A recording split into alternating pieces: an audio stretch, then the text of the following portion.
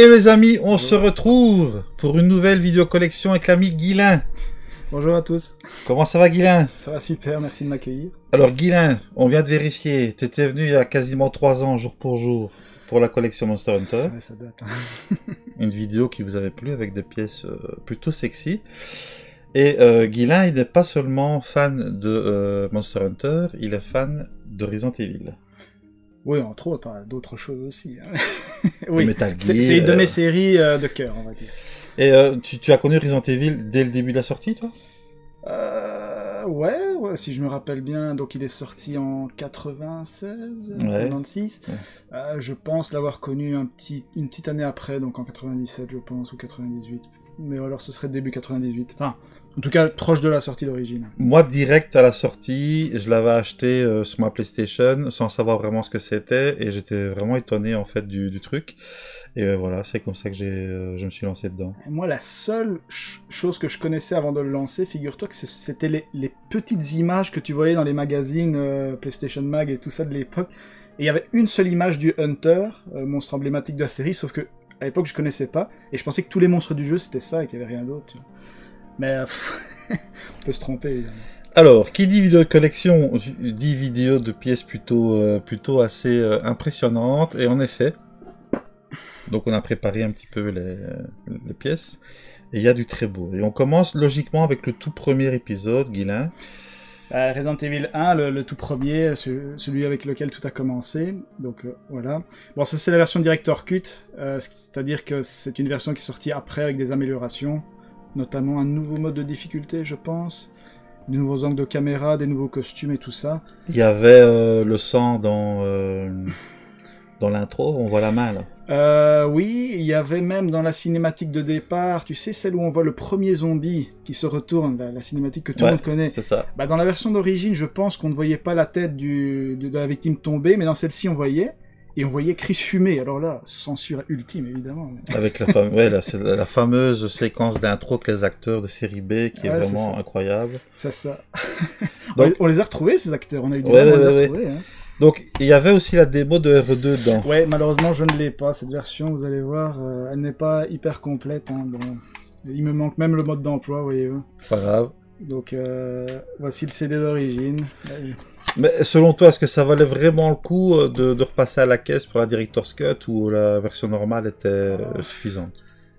Je pense qu'il apportait quand même pas mal de nouveautés, donc euh, oui, je pense que c'était un bon, un bon achat, oui, je, je suis... Comme quoi Capcom, ils ont commencé bientôt à faire des rééditions. hein. Ah ouais, bah avant ça, même avec Street Fighter, Ah ouais, ouais, ouais, ça, c'est sûr, ça c'est sûr.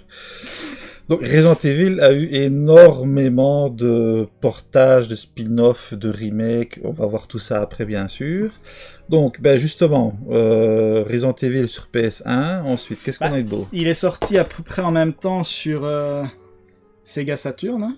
Alors là, par contre, je trouve que visuellement, c'est quand même plus sympa de l'avoir en Saturn. ça donne mieux, je trouve. euh, la boîte est un peu plus sexy.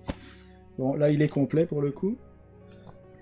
Alors nous, en Belgique, de la Sega Saturn, c'est pas évident à collectionner. Hein. Ouais, d'accord. Non, c'est pas évident. euh, mais pff, écoute, euh, généralement quand on le trouve, c'est par petits lots. Et moi, j'avais acheté un lot, il était dedans. Je vais pas m'en plaindre, quoi.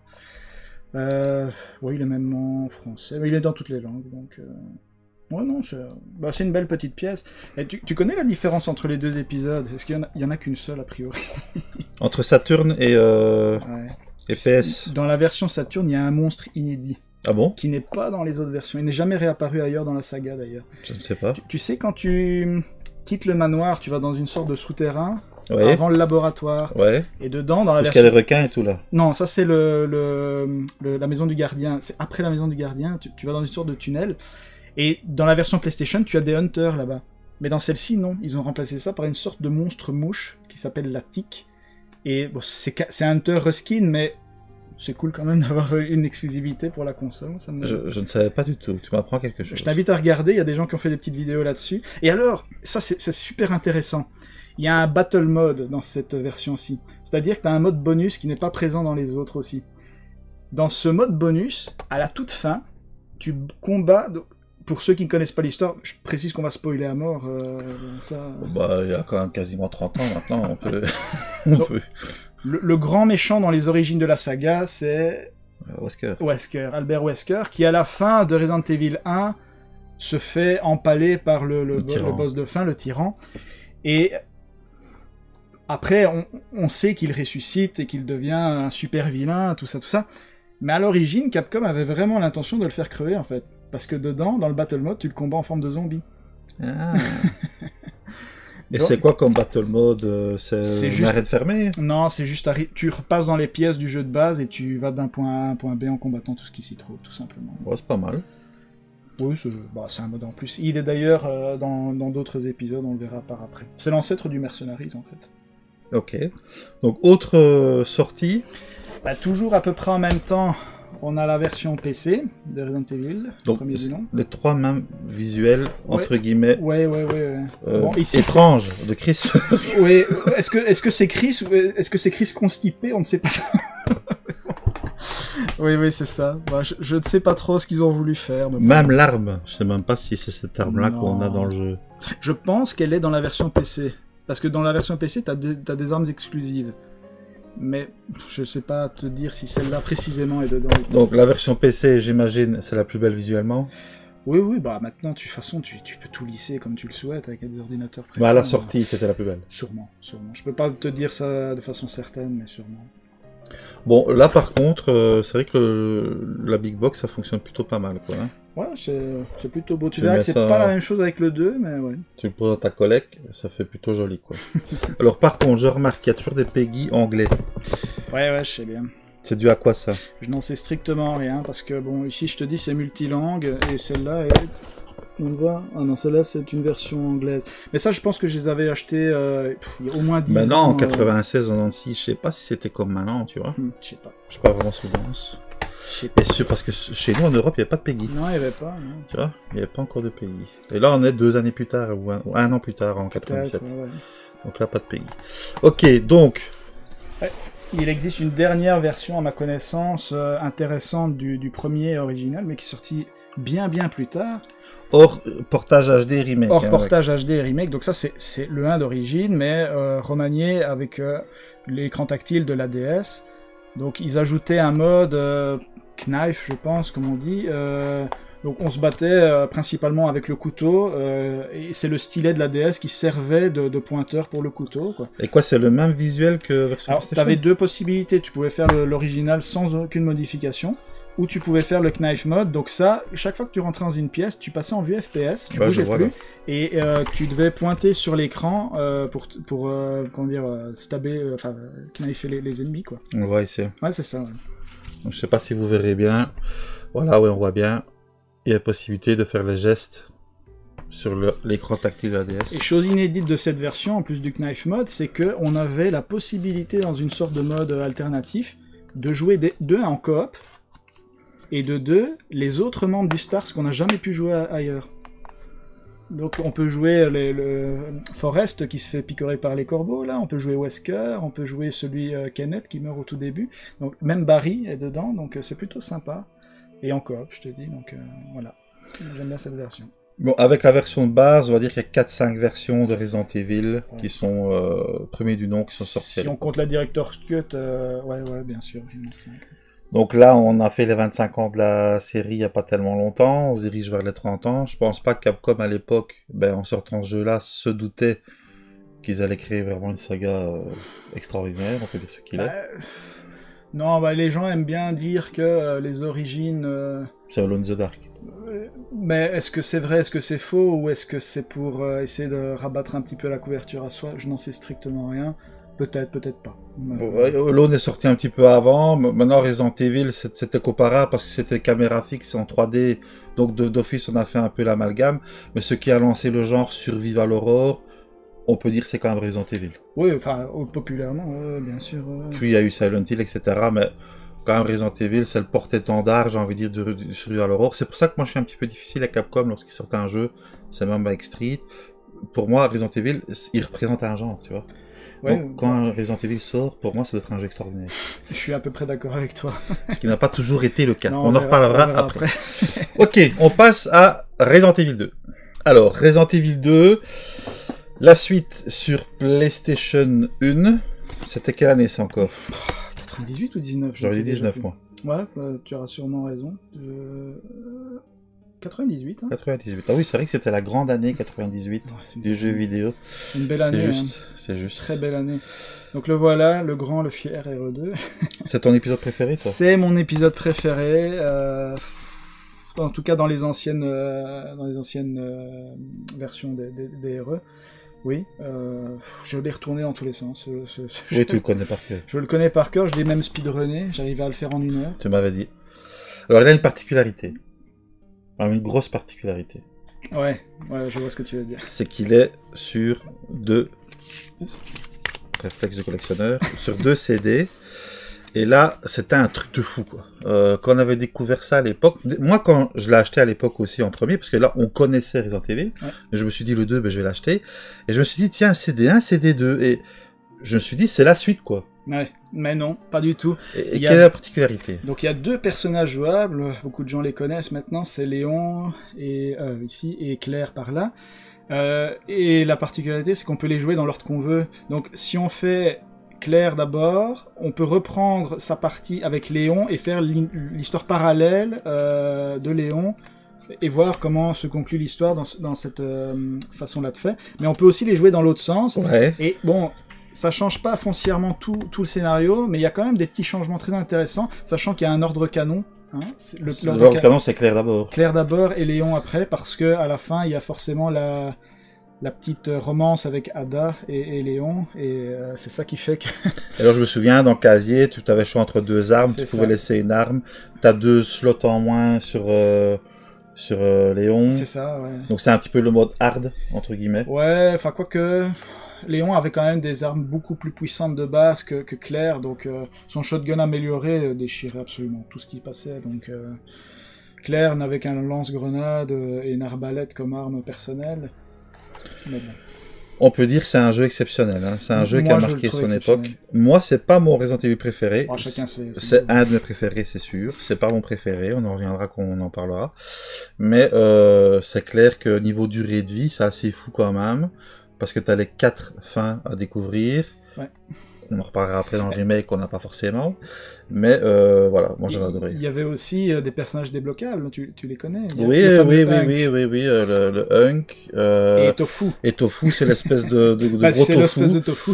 qu'on peut jouer aussi dans, dans le remake. Exact. Ils ont, ils ont eu la bonne idée de, de le remettre. Ça, c'était vraiment cool. Et petite anecdote, mais tu sais au, dé- au départ comment, quelle est la petite euh, pirouette qui- qu'il existe dans la cinématique de début pour faire Claire A, Claire B ou Léon A, Léon B? Non. L'his- L'histoire commence quand la voiture que Léon conduit se euh, prend un, un poteau en plein milieu de la route à cause d'un zombie. Mais si tu es dans la configuration Claire A, Léon B, la voiture percute par l'avant. Mais si tu fais l'inverse, la voiture fait une, un pirouette et percute par l'arrière pour expliquer que les deux personnages sont séparés, mais partent dans un, dans un sens différent. Ah bon? Et je trouve ça vraiment cool. Très bien. Donc, quand il est sorti, il est sorti sur quoi d'autre? Il est sorti également sur euh, bah, Dreamcast, vu que la Saturn n'était plus d'actualité à l'époque. Alors, de souvenance. Il n'y a pas tellement de différence entre la version Dreamcast et non, PlayStation. Non, non, non, il n'y a pas de différence. Alors les différences existent, mais je ne saurais pas toutes les citer parce qu'en en fait, il existe une différence euh, pour chacune des versions, mais c'est principalement dans les chargements, le fait que tu puisses passer les portes, euh, euh, les chargements de portes, tu sais, ou euh, des, des petites choses comme ça. Mais celui-là, je pense pas qu'il y ait des, des différences majeures. Je, je pense qu'il y avait quand même le battle mode dans Mhm, celui-là. mhm. Euh, D'ailleurs, tu peux jouer Chris, ce qui est assez cool parce que dans Chris, dans le Il 2, est il est complètement absent. Et mais sinon, à part ça, c'est pas la version la plus différente. Par contre, les covers sont dégueulasses. hein. On se faisait la réflexion avant de- d'enregistrer. Euh, oui, les covers sont dégueulasses. Et par contre, là, il y a qu'un super, euh, je sais pas comment ils appellent, un Oh, DVD-ROM, un je- G- un un GD-ROM. GD-ROM. Il y en a, non, il y en a deux Non, aussi. il y en a deux aussi, je pense. Oui, il est séparé, il est en dessous. Alors, il y a quand même une différence majeure qui rend cette version bien plus supérieure que la version PS, à mon sens. C'est juste la, ma- la manette Dreamcast. Tu sais que sur la, la manette Dreamcast, tu avais euh, un petit VMU, la petite carte mémoire. Ouais, ouais, ouais.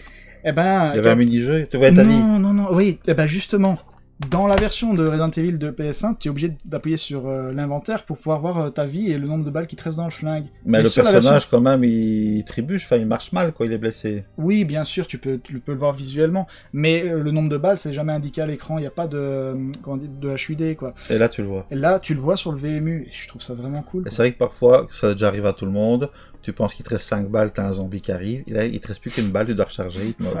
Ça déjà arrive à tout le monde. Bah, ça, c'est une petite différence qui fait que la version, je la trouve supérieure. Mais bon, c'est pas non plus, euh, pour le fun absolu, un truc qui va faire acheter l'une ou l'autre console, hein, bien sûr. Ok, niveau prix, ce sont deux versions qui sont pas trop trop chères. Hein, ça. Je pense pas que... Non, non, même la version Dreamcast, on peut la choper euh, pas, pas trop cher. Ah, pas trop cher, mais... Je dirais une quarantaine d'euros.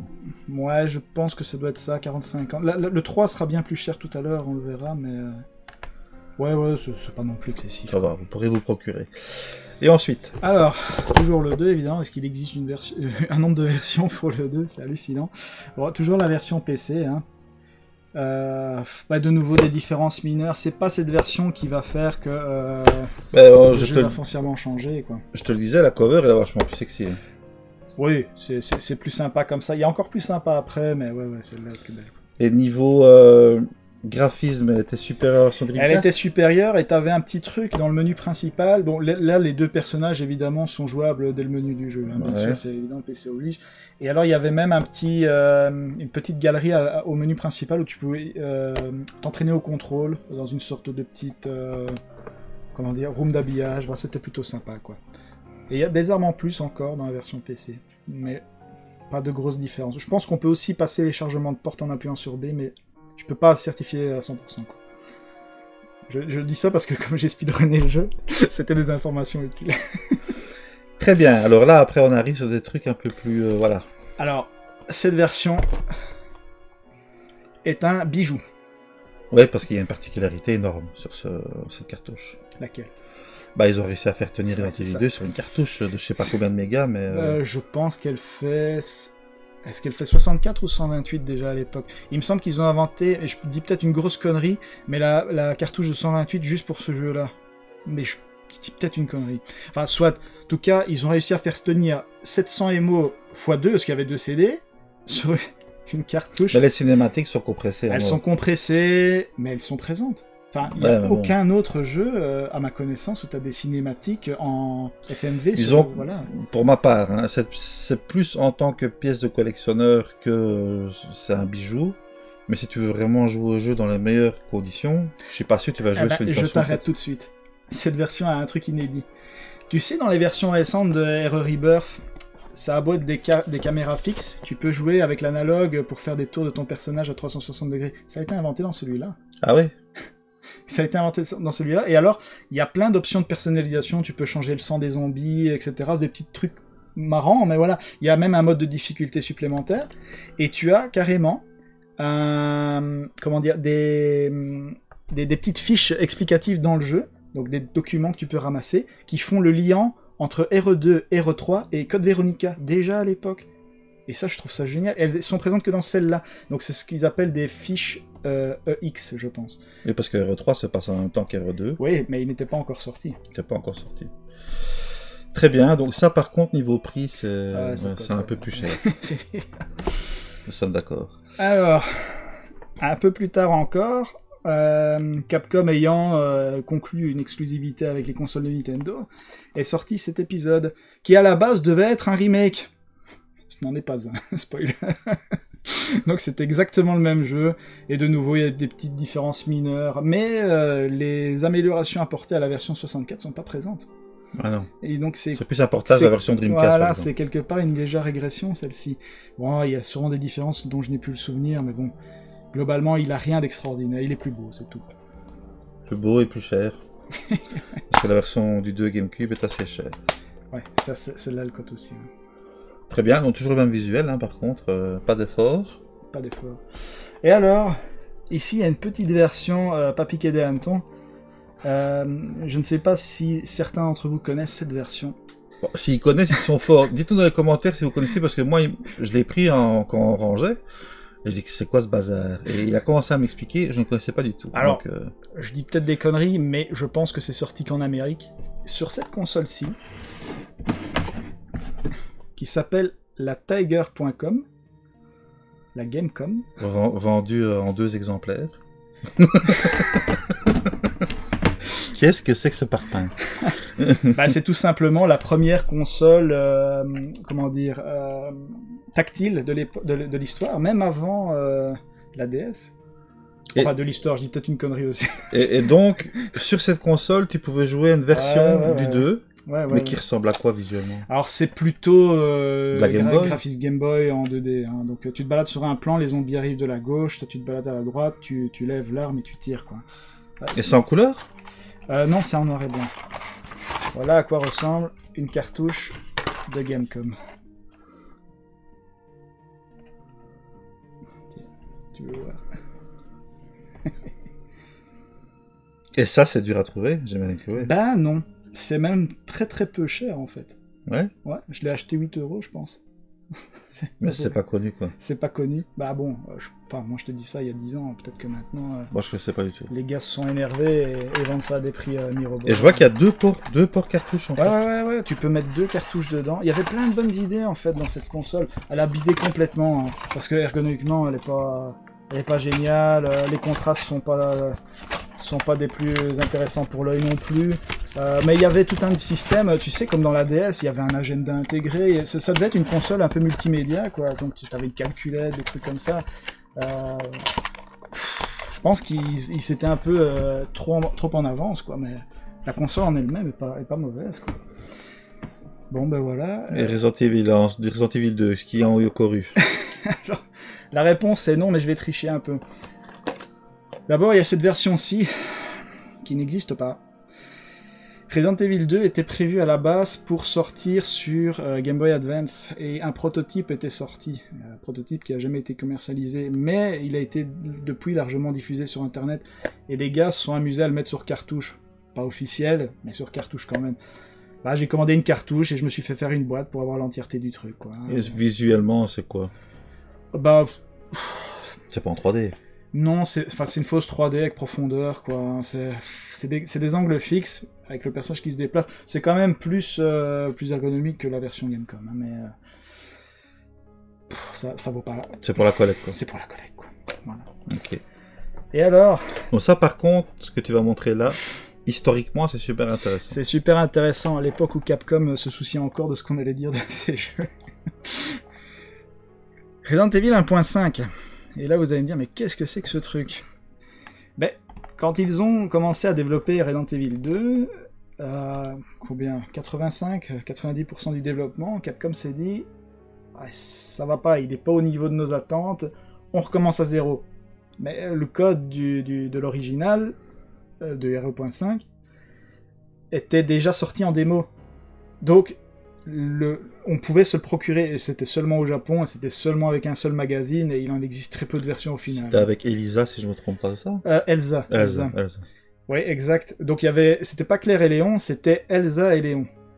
Et Elsa, euh, Capcom a quand même le bon goût de, se souvenir de ses, de ses, hum, comment dire, Ces erreurs. de ses erreurs ou de ses euh, choses passées, parce que le costume est disponible dans la version remake. Exact. Et ça, c'est vraiment cool. Quoi. Et ça, c'est une boîte euh, non officielle. C'est non officiel, le CD non officiel. Ça, Il y a même le mode d'emploi dedans. Hein, donc, euh, T'as acheté ça aux US ou quoi? Bah, pas du tout en Espagne, figure-toi. En Espagne. On dirait un vrai jeu, quoi. Ouais, ouais, ouais. Et il est parfaitement jouable sur une console PS1, je l'ai testé. Et, et là, euh, ça ressemble à quoi le jeu? Parce que moi, j'ai jamais joué. C'est bah, c'est RE2, c'est la même chose dans les, dans les mêmes euh, conditions, sauf que t'es pas du tout dans le même commissariat. T'as pas les mêmes personnages, t'as pas les mêmes armes, t'as pas le même inventaire, t'as pas la même histoire. Et euh. il est joué à bout à bout? Ouais, ouais, ouais, il y a une fin, oui, oui, oui, parce que depuis que le code source a été euh, leaké, il y a, c'était en 2013 ou 14 quelque part par là, euh, il y a un grand nombre de joueurs et c'est les Espagnols justement qui, qui s'en chargent généralement, euh, qui s'amusent à terminer le, le jeu en fait. Donc euh, le jeu était pas forcément complètement fini. C'est des modeurs qui l'ont fait, quoi. Ouais, et, il s'am- et chaque, chaque année, t'as une nouvelle version qui sort, de- un peu plus complète. Bon, c'est pas des, des- Ça, j'aimerais bien en acheter un, ça. Franchement, c'est trouvable. hein. C'est pas trop cher, Non, j'imagine. non, non, ça va. Ok, super. Très bien. Donc, voilà pour euh, Resident Evil 2. On passe à la suite. Alors, après Resident Evil 1, Resident Evil 2, on passe sur le troisième épisode. Voici. Alors, il est sorti quand, lui Oh, là, tu Pas me poses 2000 une piles. C'est 2000 piles, je pense. hein, ouais, ouais. Ou fin 99, mais bon, dans ces eaux-là, quoi. Donc- Le nouveau Capcom aux commandes. Il y a un sous-titre spécial. Donc Nemesis, c'est la première fois qu'il y a un sous-titre. Ouais, ouais, ouais. Qui n'est pas le même au Japon, d'ailleurs. hein. Au Japon, C'est Last Escape. Last Escape. Alors, RE3 qui se passe en même temps qu'RE2, on l'a dit. Il commence un jour avant et se finit un Ouais, jour c'est après. ça, c'est ça, c'est ça. Là, on retrouve Jill Valentine, Ouais, exact. euh, Qui est l'héroïne du premier. hein. qui est l'oreille du premier. Euh, il y a une particularité dans ce jeu, justement, le Nemesis. Ouais, donc c'est un ennemi euh, invincible, on peut dire ça comme ça, qui te suit de pièce en pièce, qui est, ce qui est inédit pour la série. hein. Jusqu'à présent, ça n'était jamais arrivé. Donc il est colossal, il est rapide, il fait peur. Pour en tout cas à l'époque, il faisait peur. Euh, son design est plutôt réussi. euh, ça a marqué les esprits, quoi. Donc il fait office de nettoyeur, il veut euh, éliminer tous les stars évidemment, pour effacer un petit peu les traces d'Umbrella. Et euh, il y avait un truc qui m'avait moi marqué à l'époque, c'est que il arrivait à casser des portes en fait. Ouais, ouais, bah, même des murs, hein, là, à un moment dans ça le- changeait le Ouais, décor. c'est ça. et on s'était dit, bah ça change le décor, euh, c'était... C'est ça. Par contre il est extrêmement court, j'ai trouvé. Ouais, mais si tu les fais en ligne droite, ils sont tous courts. Mais celui-là particulièrement. Ouais, d'ailleurs, ils ont repris l'idée pour là, il- j'ai un peu exagéré pour l'arrivée. Puisque le beffroi passait la trappe. Mais, mais voilà, moi c'est l'épisode que j'aime le moins de Resident Evil. Mais tu sais qu'à la base, il devait pas... ça devait pas être le 3, hein. Ça sortirait maintenant, je pense que ce serait un DLC pour moi. Un gros DLC au deux. Bah, là, tu vas te faire des ennemis quand même, parce qu'il y a beaucoup qui ne jurent que par le 3, mais Moi, je serais plutôt d'accord avec toi. C'est pas celui que j'ai préféré. Mais euh, pour l'anecdote, c'était pas officiellement celui qui devait être le numéro 3. Le numéro 3, ça devait être le Code Veronica. Mais comme euh, les dirigeants de chez Capcom voulaient une continuité euh, numérotée sur la même console, ils se sont dit, bah, le 3, ce sera celui qui sortira sur PS. Et le Code Veronica qui sort sur Dreamcast, ce ne sera pas le 3, ce sera le Code Veronica. C'est pour ça qu'à la base, il était surnommé Last Escape, parce que ça devait pas être le 3. Mhm. Maintenant, c'est vrai que quand tu sors après le 2, c'est difficile de faire beaucoup mieux. Alors pourquoi j'ai vraiment l'idée de durée de vie Parce que dans le 2, tu avais les deux CD. Oui. Donc tu avais vraiment l'impression de jouer longtemps. Ouais, ouais, ouais, ouais, c'est ça. Et, et là, le 3, ben, tu te retrouves avec une, av- une aventure euh, plus linéaire avec Jill. Ah, Il y avait quand même cette idée de double choix. De temps en temps, dans l'aventure, tu pouvais faire un choix. Exact. euh, Dans, dans la vie, euh, c'est- c'était l'urgence. Il fallait absolument choisir une solution ou l'autre. On savait pas laquelle était la bonne. Il y en a généralement une qui est meilleure que l'autre. L'espèce de mini QTE là. Ouais, c'est euh, ça, exactement. Bah, bah, je suis d'accord avec toi. C'est pas l'épisode qui m'a le plus marqué. Sinon, visuellement, il était quand même, quand même propre hein, pour de la PlayStation. euh, il était un peu Ouais, plus beau que le 2 quand même. hein. Et- oui, et là, le Mercenaries fait son apparition également. Donc, euh, mode qui restera euh, très longtemps vu qu'il est encore maintenant. Et là, pour le coup, voilà, enfin une belle cover. quoi. Ça y est, il a fallu Bah, attendre. Elle est quand même plus jolie que la version Ouais, euh, japonaise. japonaise, il se passe rien. Ouais, on voit le Nemesis vaguement photomatique sur le côté, là, mais ouais, ouais. C'est clair que Nemesis, il a marqué les esprits. Et t'as vu, c'était édité par Eidos euh, en Europe. Ça, Ouais. c'est quand même euh, assez marrant à souligner. C'est vrai. Je n'avais jamais fait gaffe. En tout cas sur PlayStation, parce que là, je vois que sur euh, Dreamcast, c'est pas le cas. Alors justement, Dreamcast, Dreamcast, c'est Virgin. Virgin. Et c'est le même... euh, Même visuel, même jeu. Je, je, je pense pas qu'il y ait de différence du tout, en fait, là, pour le coup. Peut-être quelques costumes supplémentaires, notamment le costume de la l'héroïne de Dino Crisis, Regina. Regina, ouais. Je sais qu'elle est, mais je pense qu'elle est aussi dans la version euh, PlayStation. J'en suis pas sûr à 100%, mais il semble que je l'avais débloqué. Mais sinon, c'est le même jeu, ça, il n'y a aucune espèce de différence. Mhm, très bien. Et la version PC que tu as aussi? La version PC, Et elle, qui reprend le même visuel. toujours, il change pas. D'ailleurs, c'est. Ah oui, c'est encore Eidos, hein. C'est Eidos pour le PC. Bon, ça impose quand même hein, une big box avec le Nemesis comme ça. euh, Moi, j'aime bien. Ouais, tu mets les trois big box les unes à côté des autres. Je sais pas comment tu les ranges. Ouais, c'est exactement ça. Ouais, ça, ça, ça fait son, son taf. hein. Et C'est vraiment le même visuel, même les screens derrière sont Ouais, les mêmes ouais. screens choisis. Euh, ouais, c'est exactement la même ils chose. sont pas embêtés. Et la version la plus chère. La version la plus chère, bah, de nouveau, on est sur GameCube. De nouveau, ça devait être un remake, un remake quand, on a, quand Capcom a signé l'exclusivité. Il n'en fut rien, tout simplement parce que le Rebirth, qui ne s'appelle pas vraiment Rebirth, mais on se comprend, c'est mal vendu, GameCube c'est mal vendu, donc euh, on a décidé de pas prendre de risque chez Capcom. Euh, visuellement, c'est pareil que sur PlayStation? Ou un peu plus beau? Forcément un peu plus beau. Parce que Un peu sur les- lissé, quoi. Ouais, c'est ça, mais les différences sont mineures. Globalement, c'est quasiment le même jeu. quoi. De nouveau, peut-être des costumes, je sais même pas. Peut-être des, des armes, j'ai pas regardé assez loin pour le savoir. Et lui, tu l'as aussi euh, speedrunné? Non, non, non, j'ai pas fait du tout le 3. moi. J'ai- Enfin, si, je l'ai joué. T'as joué une fois ou deux, quoi. Ouais, enfin non, même plus que ça, mais je veux dire, je pas pris ça euh, sportivement, si on peut appeler ça comme ça. Très bien. RE3, voilà. Donc, il était euh, pour moi un épisode un peu moins bon. Et vous allez voir dans la suite, il y a un petit peu du bon et du moins bon aussi. J'ai quand même une colle à te poser. Tu sais, le fameux Nemesis, là, le Star, ce qu'on entend gueuler. Tu sais qui faisait la voix de, du Nemesis? Qui est décédé d'ailleurs, ce monsieur-là. Je sais pas du tout. C'est un- le monsieur qui faisait la voix de Luigi dans les Mario en anglais. Il a changé son registre. Rien à voir. Comme quoi. Super, on passe à la suite. Alors, on arrive dans l'un de mes épisodes préférés, qui est, La Resident Evil, Code Veronica. alors, Code Veronica, exclusivité Dreamcast à l'époque. Ouais, ouais, l'exclusivité Dreamcast. Gros changement, hein, parce que euh, on passe de chez Sony, chez Sega, Ouais, et euh, les gens de Sony avaient pleuré euh, ben, juste le temps d'un an et demi, deux ans, parce qu'on verra après, ça va s'arranger. Mais euh, quand même. quand on y réfléchit, comme il, il faisait chaque fois les mauvais choix d'exclusivité quand il regardait la, Oui, la Dreamcast. Ouais, Des consoles que nous on adore, mais qui n'ont pas fonctionné malheureusement commercialement, cool de manière eux. commerciale. Donc Code Veronica, qu'est-ce que tu peux dire? Bah, euh, gros changement parce que là on passe maintenant enfin, enfin, enfin, ça, ça dépend les gens, mais dans des décors qui sont plus en caméra fixe. C'est plus précalculé, C'est c'est des caméras qui suivent le c'est personnage. de la full 3D. Euh, une histoire bien plus conséquente, un jeu beaucoup plus long pour le coup. Ouais, parce que donc on joue clair. On joue clair, ouais. Bien qu'on le voit sur la pochette, on voit Chris, mais, Héros du 1. mais on se dit, ben, on joue pas Chris au final, mais après plusieurs heures, on spoil pas, mais on, on arrive. On, on peut à la limite, hein, à la moitié du jeu. À la on moitié dit- du On jeu. se dit que le, le jeu est terminé, mais non, il repart et. Et encore, on est qu'à et 50% du Voilà, jeu. c'est ça. C'était une belle surprise à l'époque, ça. hein. Alors, moi, il y a un truc qui m'avait vraiment tué, c'était la séquence cinématique d'intro. Elle était bien. Mais elle est calquée sur un film, hein, si je me trompe pas. Quand euh, Claire tombe sur le sol et ra- rattrape... Ouais, je pense que c'est calqué sur un film, mais c'était vraiment classe. hein. Donc grand jeu, un très très grand jeu Code Veronica qui n'a jamais été porté en HD. Bah, je ne pense pas. Non, non, non, non. Ah, Sauf, ouais, ouais, attends, attends, attends, attends.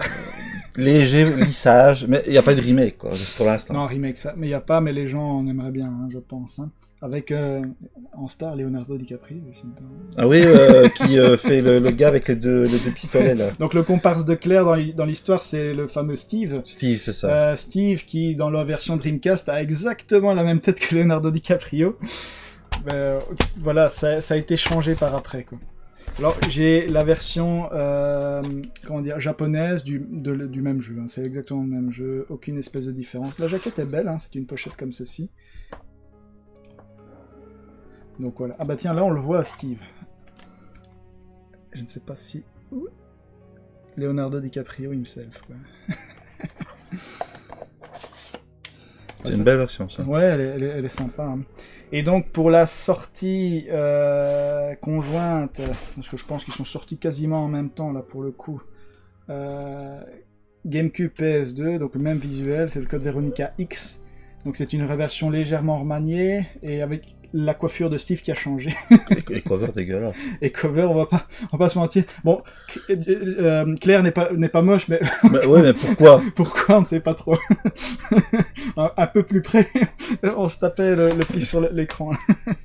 Alors il y a une particularité sur le Code Veronica XPS2, c'est que tu as la démo Devil May Cry. Ouais, ouais, ouais, exact.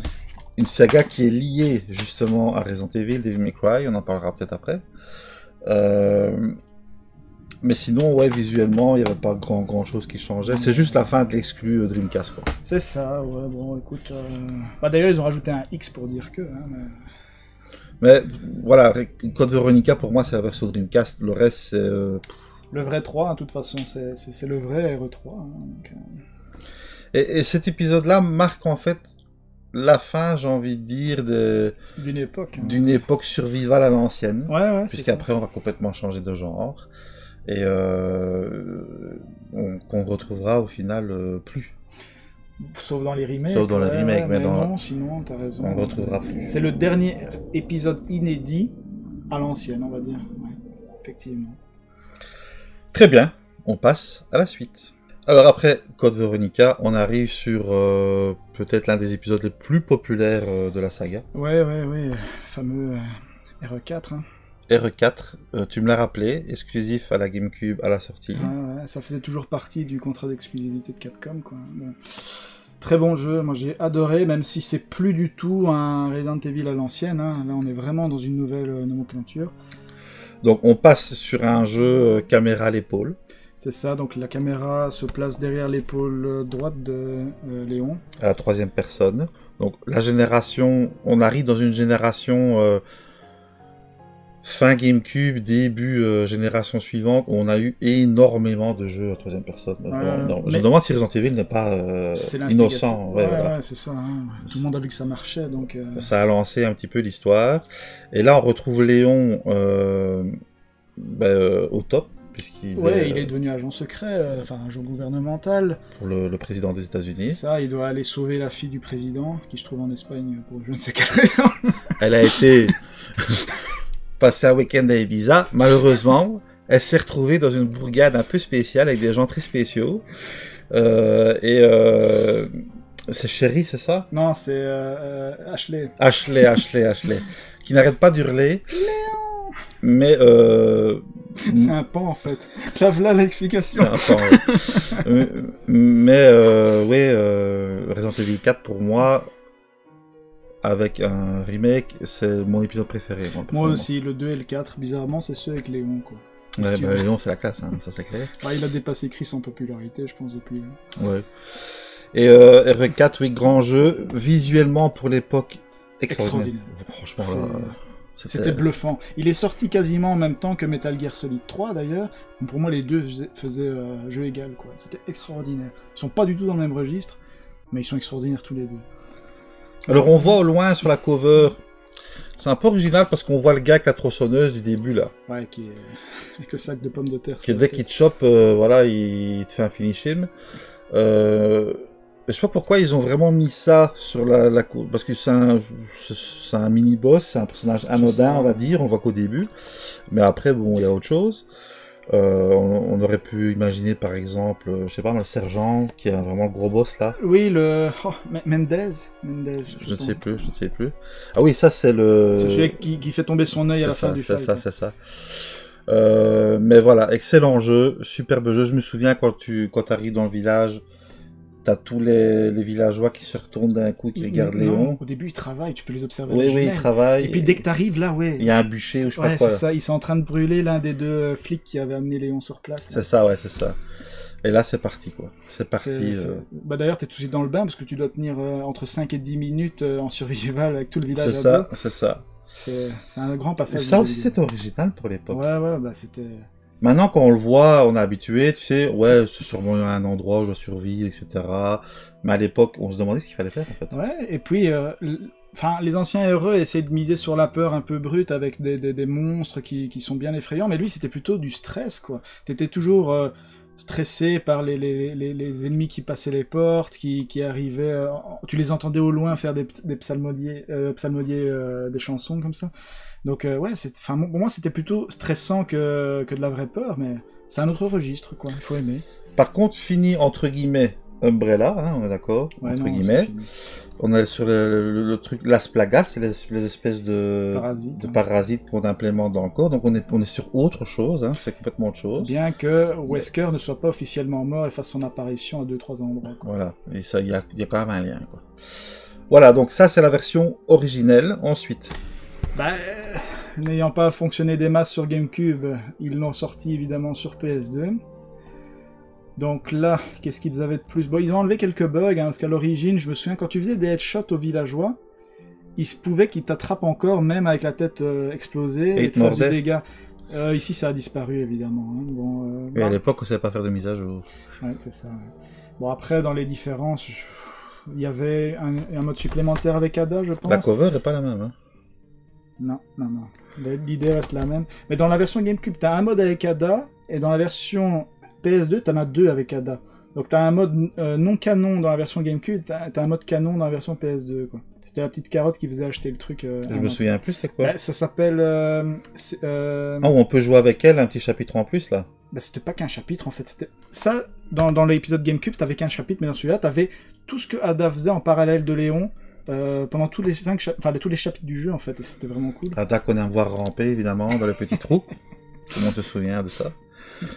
Donc euh, oui, euh, portage très bon. Je me souviens, je l'avais fait plusieurs fois à l'époque. Et portage donc qui existe en différentes versions. Donc j'ai la version euh, steelbooké européenne ici. Euh, c'est- la même version. C'est la même version. steelbook qui est beau. Euh, la version steelbooké américaine. Donc euh, oui, que Guillaume va m'offrir après la vidéo. C'est un de mes grades que je recherche je remercie Rodrigue d'ailleurs pour son prix euh, super fair play à la, à la Pixel. à la Pixel. euh, merci à lui. Franchement, regardez-moi ça, les amis. Je serais pour les hommes, je pense que je craquerais pour les hommes. je ne sais pas vous. Et donc ici, version assez euh, spéciale. euh, donc même euh, image, mais on est sur euh, un mini euh, mini collector, si on peut dire ça comme ça. C'est la version coréenne, toujours vendue par Rodrigue, qui possède un steelbook en plus. Et ben ça c'est cool. Je- Est-ce que tu veux qu'on l'ouvre pour voir le steelbook? Non. Donc le même visuel qu'en fait la version steelbooké euh, US en fait. Ouais, ouais. Très bien. Et alors, euh, j'aurais dû en parler avant, mais il y a la version GameCube euh, japonaise. Avec un autre visuel. Un autre visuel qui est Vraiment sympa. sympa. Ouais, ouais, très sympa. Et alors, tu me disais tout à l'heure, euh, mais Code Veronica n'est jamais sorti en HD.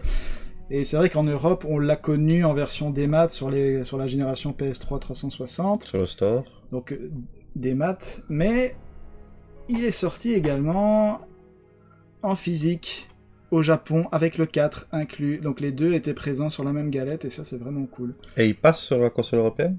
Je suis pas sûr. Non, non, non, pas sur la 3.6, non, non, non, non. non, non, non. Euh, par contre, c'est peut-être rétro-compatible, ça je ne sais pas te dire. C'est possible. À vérifier. Sur la série, tu veux dire? Ouais, ouais, peut-être, mais je, je, je sais pas te dire comme ça. Alors, euh, avant qu'on qu'on parle des derniers objets du, du 4, Encore. tantôt on a vu qu'il y avait la démo de Devil May Cry dans Ouais. Code Veronica. Ouais, ouais, ouais, c'est vrai. C'est pas anodin quand même ça. C'est pas anodin parce que pour ceux qui connaissent euh, l'origine de, de Devil May Cry, il s'agit en fait, comme Resident Evil 1.5, d'une version annulée de Resident Evil 4 qui s'éloignait selon les créateurs un peu trop de l'esprit.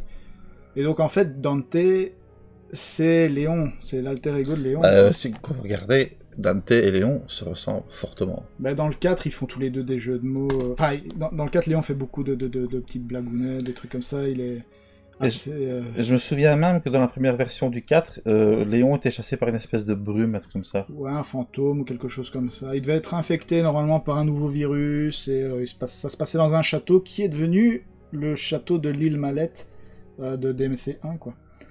Donc euh, tout se recycle chez Capcom. Guilain, c'est tout. C'est incroyable.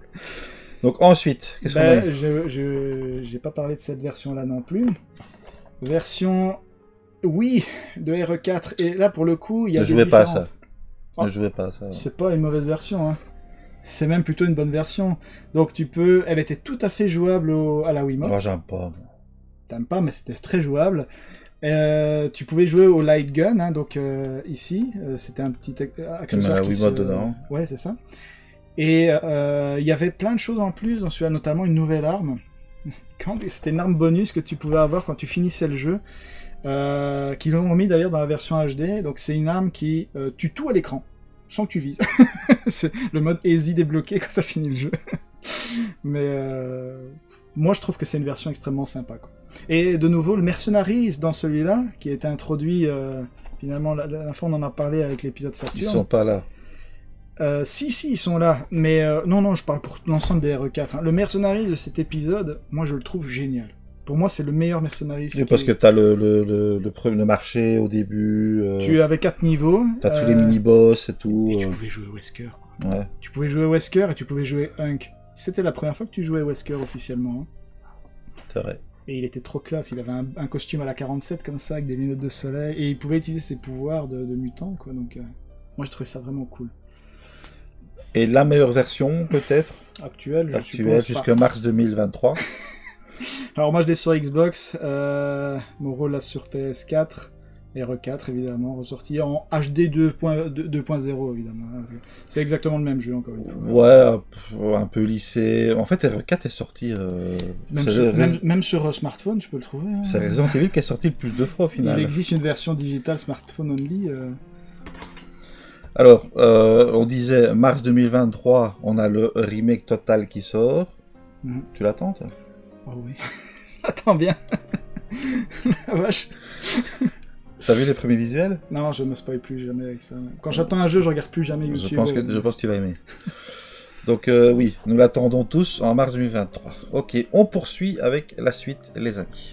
Alors, on poursuit sur un nouveau revirement de situation dans, dans la série, puisqu'on a vu les trois premiers épisodes et, et Code Veronica, Survival Horror, pur Survival Horror. Le 4 commence avec de l'action, mais il y avait quand même un petit peu de ouais, d'horreur, on va dire. du stress, de l'horreur, si tu veux, ouais. Mais, puis 5 bah, L'épisode 4 ayant été apprécié, forcément, euh, ils ont continué sur la même veine. Mais on était un peu dans l'époque de la coop à tout prix ici. Hein. voilà, c'est euh, ça, vraiment le gros changement. C'est qu'on a deux persos qui sont euh, tout le temps jouables. Soit vous jouez en solo et le, le CPU prend le deuxième perso, ou soit vous jouez en coop.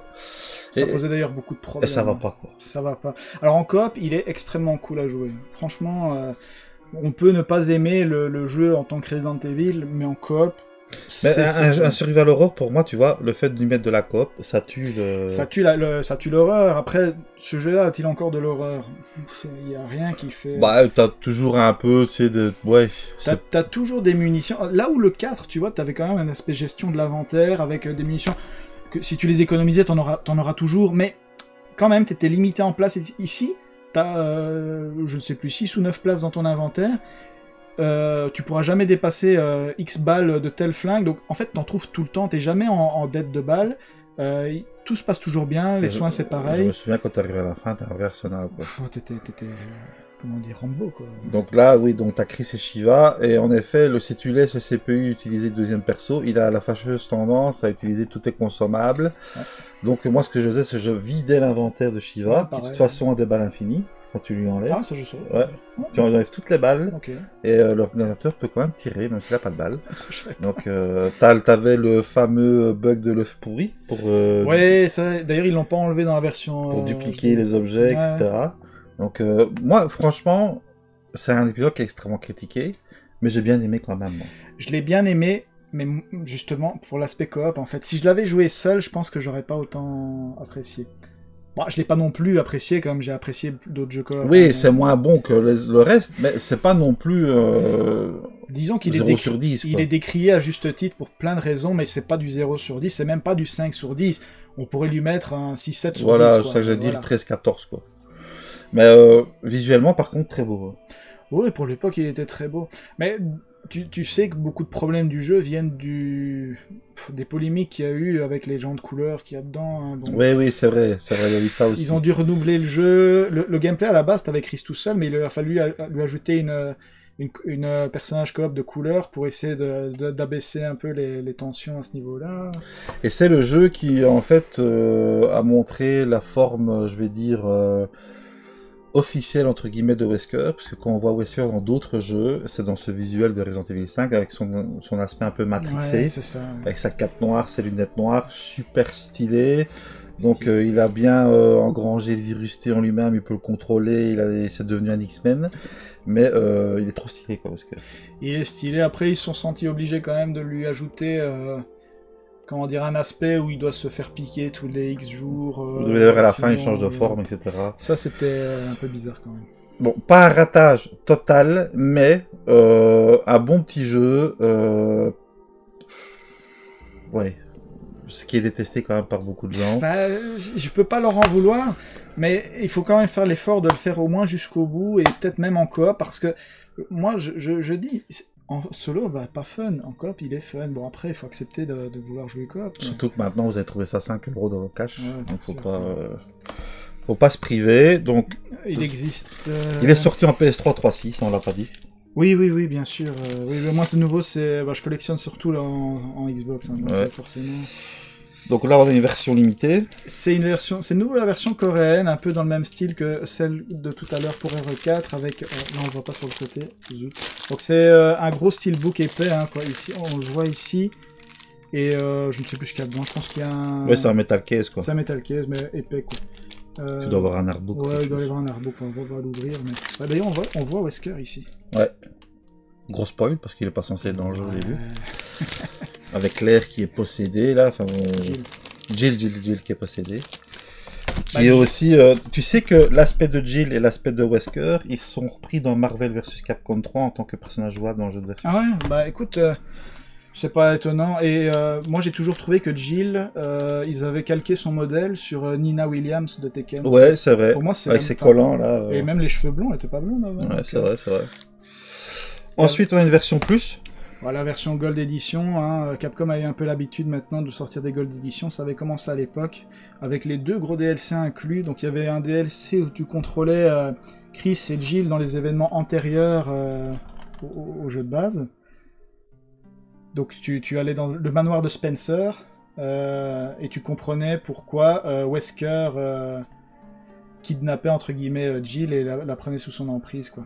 Et il y avait des packs de costumes, je vois. Ouais, bon, ça, Oui, on voit comment Jill se fait capturer. C'est ça, bah, en essayant de sauver euh, Chris, hein, du coup.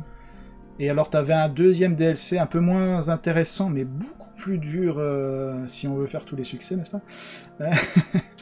Euh, qui, Où tu contrôlais euh, de nouveau Jill et. Je sais plus comment il s'appelle, le, l'ami de Sheva. C'est le commandant machin, je sais plus son nom, enfin soit. Euh, et alors il devait s'enfuir du, du- du complexe de, de Resident Evil 5 euh, en hélicoptère. C'était vraiment pas facile pour le coup ça.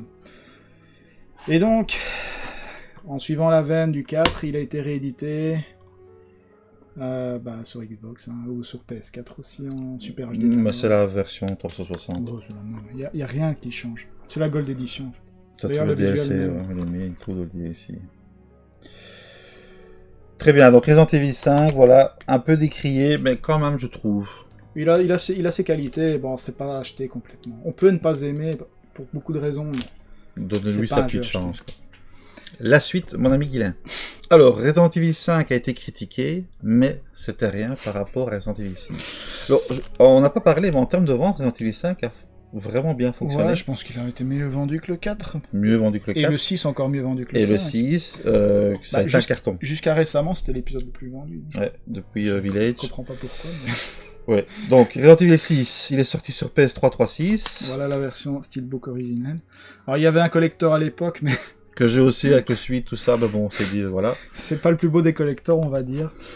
Donc là, euh, Resident Evil 6, bah, avant qu'on monte toutes les versions, il y a beaucoup de choses à dire en fait sur ce jeu.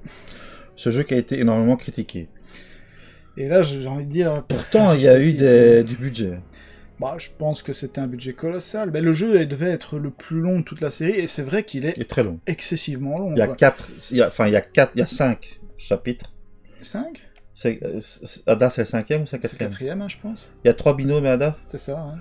Donc, en fait, on peut choisir dans les trois premiers binômes lesquels on va jouer. Donc, on a le Léon et, Et, euh, euh, c'est Ashley, je pense. Non, non, non, non, non, pas du tout. C'est. C'est un nom qui finit par A, mais je sais plus son nom, c'est pas noté. Ah bon, soit. Ouais. On a Jake. On apprend que c'est le Sherry. fils de Wesker. Ouais, et Sherry, qui est la, la fille du, de, que Léon et Claire avaient sauvée dans le 2. C'est ça. Et on a Chris et son copain. Euh, Jake. Et là, c'est non, non, si. Euh, euh, pas, euh, Pierce, Pierce, Pierce. Pierce, Pierce, oui. Ouais. Et là, c'est le, le pire en fait. Donc, on a, on a trois, cha- on- trois histoires en fait C'est ça. Et qui alors, se passent en même temps. ils ont voulu parler absolument à tous les fans. Et tout le monde a été déçu, je pense, d'une façon ou d'une autre. Alors, moi, j'avais commencé par le chapitre de Léon. Bah, je pense que tout le monde a fait comme ça. Et c'est le mieux. Bah, c'est celui qui est le plus euh, constant, en fait. Il est pas exceptionnel, mais il est correct du début à la fin. Voilà, donc là, on retrouve un petit peu du RE1 entre guillemets classique, avec des séquences un peu d'action. On a quand même des séquences de défense dans le café, etc. C'est ça. Euh, on a une phase dans le cimetière qui était pas mal. Oui. euh, Au début, au début, je me souviens, c'est très hollywoodien. C'est ça, dans ouais. euh, l'université. ouais, dans l'université. Ça euh, commençait bien d'ailleurs. Avec les, les voitures qui se percutent dans les murs. là. Ouais. Et alors, première fois où euh, les acteurs sont doublés en français? Oui, ils sont- bah, moi j'ai toujours joué en anglais, hein, mais oui, effectivement, ils sont, ils sont doublés en français. Et c'est des voix qui sont reprises dans les films euh, animés qu'on verra après. C'est vrai, c'est vrai. Euh, par contre, voilà, les- les- quand tu jouais au chapitre avec Chris, c'est le pire, c'est Call of Duty. Quoi. Bah, c'est pas intéressant, c'est pas très bien exécuté. C'est Gears of War. Donc, euh, oui, sauf que Gears of War fait ça mille fois mieux, donc ça n'a aucun intérêt de jouer ça. Et même l'histoire de Chris et Pierce n'a strictement aucun intérêt, sauf, je mets- j'ai toujours mis euh, un point d'honneur là-dessus, la fin est très bien. La fin, mais les, les dix dernières minutes de Chris et Pierce, c'est le meilleur du jeu. Mais on combat chaque fois le même boss en fait. Ouais, en bizarre. plus, c'est ça. euh, bah, ils- quand je te dis qu'ils ont voulu faire plaisir à tout le monde, avec Léon, ils ont voulu faire plaisir aux fans de la première heure avec du zombie. Avec Chris et, et Pierce, ils ont voulu faire plaisir à ceux qui aiment euh, défourailler à tout va. Et avec euh, Sherry et Jake, ils ont voulu faire plaisir à ceux qui aiment bien hein. R- RE3 avec un pseudo-Némésis dégueulasse, Lustanak, si je me souviens bien, qui, Une espèce qui- de mais mécanique là. euh. Enfin, on le combat deux ou trois fois dans le jeu, mais à chaque fois c'est à base de QTE, c'est des poursuites avec caméra de devant, donc tu vois jamais ce qui arrive. Ça n'a aucun espèce d'intérêt. C'était la grande époque du, Q- du, QTE, du QTE à tout va, ça, et c'est mal exécuté, ça va pas, quoi. Et quand tu finissais les trois, tu débloquais le chapitre de Hadar, qui ça. lui était plutôt pas mal. Et même à l'origine, il n'était pas jouable en coop, lui il était seulement solo. Et ils se sont sentis obligés de rajouter euh, une sorte d'IA, mais mal foutu parce que ça s'intègre pas du tout dans l'histoire, donc qui suit euh, Ada, qui est, qui est, qui est joué par un, un autre joueur si tu, si tu joues en coop. Quoi. Dans les portages, elle est directement déverrouillée. Ouais, ouais, bien sûr. ouais. Donc voilà, ça c'est la version originale PS3 3.6. Ensuite, Bah, on a la version PS3 ici euh, sous le même format que celle de tout à l'heure, donc sous forme d'un petit coffret, donc la version coréenne. Le visuel est plutôt sympa d'ailleurs. Le visuel est toujours sympa. en vrai, c'est un peu dommage parce qu'il y avait, il y avait tout pour Ouais, faire un, un, bon contenu, jeu. et- euh, un contenu phénoménal. hein, Et ils sont plantés à beaucoup de niveaux. Nous Mais sommes d'accord pour dire que c'est le moins bon Resident Evil. oh, pour moi, de loin, euh, même le passage avec la moto, tu te souviens la moto Ouais, c'est James Bond. mais, mais, mais quand même, je vais dire, j'ai quand même pris un tout petit peu de plaisir en y jouant. Quoi. c'est J'ai- pas acheté. Là, on est sur du 5 sur 10. Euh, Ouais, mais en fait, le problème, c'est si tu veux faire la part des choses, c'est un super mauvais heureux. Voilà. Mais c'est pas non plus un, Ouais. un super mauvais jeu. Si en- tu le prends en tant quoi. que jeu euh, d'action un petit peu, euh, qui prend un peu tous les genres, C'est ça. ça aurait, ouais, ça aurait été autre chose que Resident Evil, je pense que ça aurait mieux passé. Ouais, ouais, ouais. On est D'accord. Ouais, ouais. Remarque qu'on pourra faire dans l'épisode suivant. Alors, ils ont évidemment sur la même euh, continuité euh, sorti le RE6 euh, Super HD de la mort sur One et PS4. hein. C'est le même visuel. Ah non, c'est pas le même visuel d'ailleurs. À peu près. Encore un nouveau visuel. Ouais, il faut les mettre tout le monde sur la jaquette, quoi. hein, bon. Ils sont tellement nombreux dans le jeu. Oui, il y a du monde. ok. Et alors, maintenant qu'on a fini le 4, 5, 6, euh, petite chose. Ils sont sortis aussi sur Switch. Les trois ensemble. Alors, je pense qu'il y a du téléchargement dans les. Comme à chaque fois. Donc, Je le, crois que si c'est un port, il peut dans, il peut dans la Le cartouche. 4 est sur la cartouche et le 5 et le 6 sont téléchargeables. Donc c'est une fausse, euh, un faux triple pack, bien sûr. Comme ils font avec Life is Strange. Oui, euh, ils l'an ont mis Jake en euh, avant sur euh, le 6, quoi. Pas Léon. Sinon ça faisait deux fois Léon. Ouais. Oui, voilà, donc Resident Evil 6, on va pas non plus tirer sur l'ambulance, mais euh, oui, Le épisode euh, hollywoodien, on va dire, Le jeu à la girafe, tu connais? À la girafe. Tu connais pas? Je t'invite à aller voir tout ça la presse qu'on va avoir des problèmes ici. Ok, nous passons à la suite, et là, je risque de m'énerver un petit peu. Alors, ben, Resident Evil, au final, c'est la série qui a connu euh, beaucoup de virages, et en voici un nouveau, avec E RE7. Euh, et le virage, c'est non plus caméra à l'épaule, c'est désuet maintenant d'après Capcom, donc c'est euh, caméra FPS quoi. hein. Ouais, non, ben là, non. Là, je dis non. Je dis absolument non. C'est Tom n'aime pas les FPS. Non, pas du tout. Alors, pour moi, Resident Evil 7, c'est un peu un jeu de commande pour le PSVR. Je pense bien, ouais, c'est pas, c'est pas, c'est sûr même d'ailleurs. Alors, beaucoup de gens me disent, lorsque je critique euh, euh, Biohazard, euh, il faut que tu y joues à la VR. Bon, j'ai essayé, évidemment. Bah tout le monde n'aime pas la VR. Mais moi, j'ai le motion sickness à mort Ouais, sur bah télé. ça, alors tu sais rien faire. C'est un truc de fou, quoi. Dès que j'arrive à la grille, euh, je sais plus où j'habite. Donc, donc je l'ai fait normalement. Alors, comme tu dis, euh, première personne, mais il n'y a pas que ça qui m'embête. C'est, on efface tout, ce qu'on a eu dans Ouais. Resident Evil. Et ouais, on reprend zéro. Quoi. Un nouveau personnage dont on ne connaît même pas le visage, finalement. Et d'ailleurs, il joue de ça, on en parlera Ouais, après. Et- Ethan, Ethan, Ethan, ouais, ouais. donc le no-name, euh, un personnage qui, sort, qui doit aller, euh, je ne sais, je ne sais plus où, dans un espèce de petit village, retrouver sa femme qui a été kidnappée par des fermiers. Là. Et euh, il se trouve que cette famille-là est un petit peu spéciale. Bah, elle l'est pas, mais elle est contrôlée par une sorte de, de, de monstre, enfin d'une petite fille génétiquement modifiée qui est capable de, de changer la personnalité des gens, et donc euh, les v'là, euh, le v'là chez les, les cannibales, quoi, on peut dire. Mais qui, qui a écrit ce scénario? Je ne comprends pas. Toi, t'as bien aimé, toi. Je peux pas. En fait, c'est en... je, je te dirais la même chose que le 6. En tant que jeu, j'ai pas détesté, c'est même plutôt agréable, mais pour moi, c'est pas vraiment un RE. En Ouais, fait. ça, on est d'accord. D'accord. Ça aurait été un autre titre que Resident Evil. Alors, euh, ils ont voulu rattacher ça à la série principale de toutes les manières possibles et imaginables en mettant plein d'easter eggs dans tous les coins, en disant que le- la maison des Baker, euh, qui est euh, dans un marais perdu en Louisiane, euh, a été construite par, comment dire, l'architecte du, du manoir Spencer. Donc, ouais, si tu veux, enfin, pourquoi, j'ai envie de te dire, pourquoi il aurait été construit une maison là-bas? Enfin, je, je comprends Dans pas. campagne, on va dire. C'est- très massacre à la tronçonneuse, en fait, dans l'ambiance. Ouais, ouais, mais après, c'est vrai que les scènes de poursuite avec le, le père Baker sont pas mal, hein. C'est Avec la scène avec la voiture dans le garage. Mais ça, ça, n'a aucun sens. Ça, n'a aucun nul. sens. Avec le flic qui, qui, qui réagit pas, non, ça, ça n'a aucun sens. ça- je suis d'accord avec toi. Et puis, il y a la deuxième partie du jeu qui se trouve dans le bateau. Ça, c'est nul, mais ça ne ressemble à rien. C'est En fait, emmerdant. Vous faites des voyages dans les, cou- dans les couloirs. c'est emmerdant. Et alors, tu as. T'as les deux fins où tu dois choisir entre les deux gonzesses? Mais ça, c'est débile aussi. Pourquoi tu choisirais la bonne femme que tu connais même pas? Enfin, ça n'a aucun. esp- Tu viens de la rencontrer à 5 minutes et tu vas la choisir plutôt que ta femme? Moi, j'ai choisi l'autre. moi. Mais il y avait un succès pour chaque, donc oui. Mais en même temps, en, en plus, ça enlevait un boss, si je me souviens bien. euh, Mais t'as deux fins totalement différentes. hein.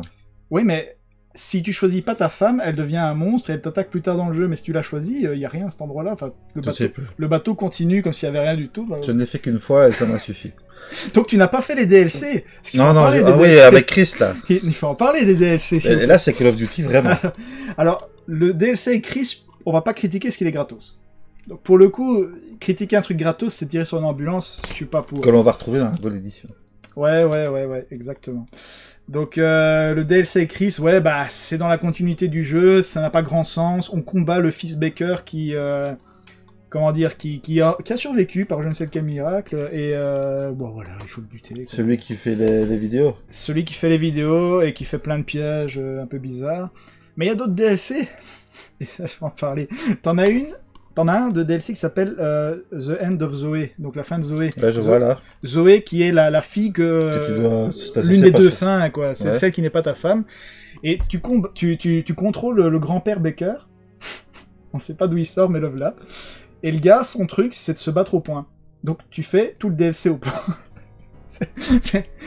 Quand tu sais que les monstres ils ont enfin ils sont très puissants quoi tu vois. Et t'es au point quoi est-ce que j'ai un truc à ajouter alors t'es très puissant et il n'y a pas de problème en mode facile et normal mais si tu le fais en mode dur, tu vas mais pleurer des larmes de sang, hein, parce qu'en plus il y a des pièges absolument partout et tous les pièges te one shot et il n'y a pas de checkpoint ou très peu. Hein.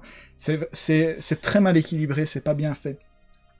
Puis t'as un autre DLC qui s'appelle l'anniversaire de, de comment il s'appelle le père euh, de Jack? C'est débile à souhait quoi. Le gars il est assis et tu dois lui ramener plein d'armes euh, pour, pour son anniversaire, mais c'est complètement con quoi. Ça ne ressemble à rien du tout. C'est payant Ouais, c'est payant. C'est complètement payant. Et alors, t'en as un dernier, et ça, je tiens quand même à le dire parce que là, pour le coup, j'ai pris du plaisir. T'as un DLC, c'est euh, une sorte de 21 de Blackjack, mais chaque fois que tu perds une partie, on te coupe un doigt. Donc, dès que t'as plus de doigts, tu meurs.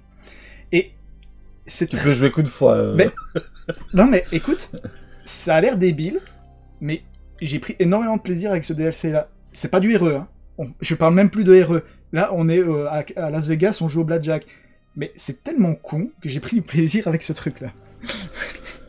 Alors, chose à dire. Euh, depuis quelques semaines, si vous mettez votre euh, Resident Evil Biohazard dans votre PS5, Il est, euh, Il est en 4K 60. 4K 60 FPS. il y a une mise à jour. Ce qui est valable aussi pour les, autres- les autres jeux qu'on parlera après. Ça n'a- n'améliore pas la qualité euh, intrinsèque du jeu.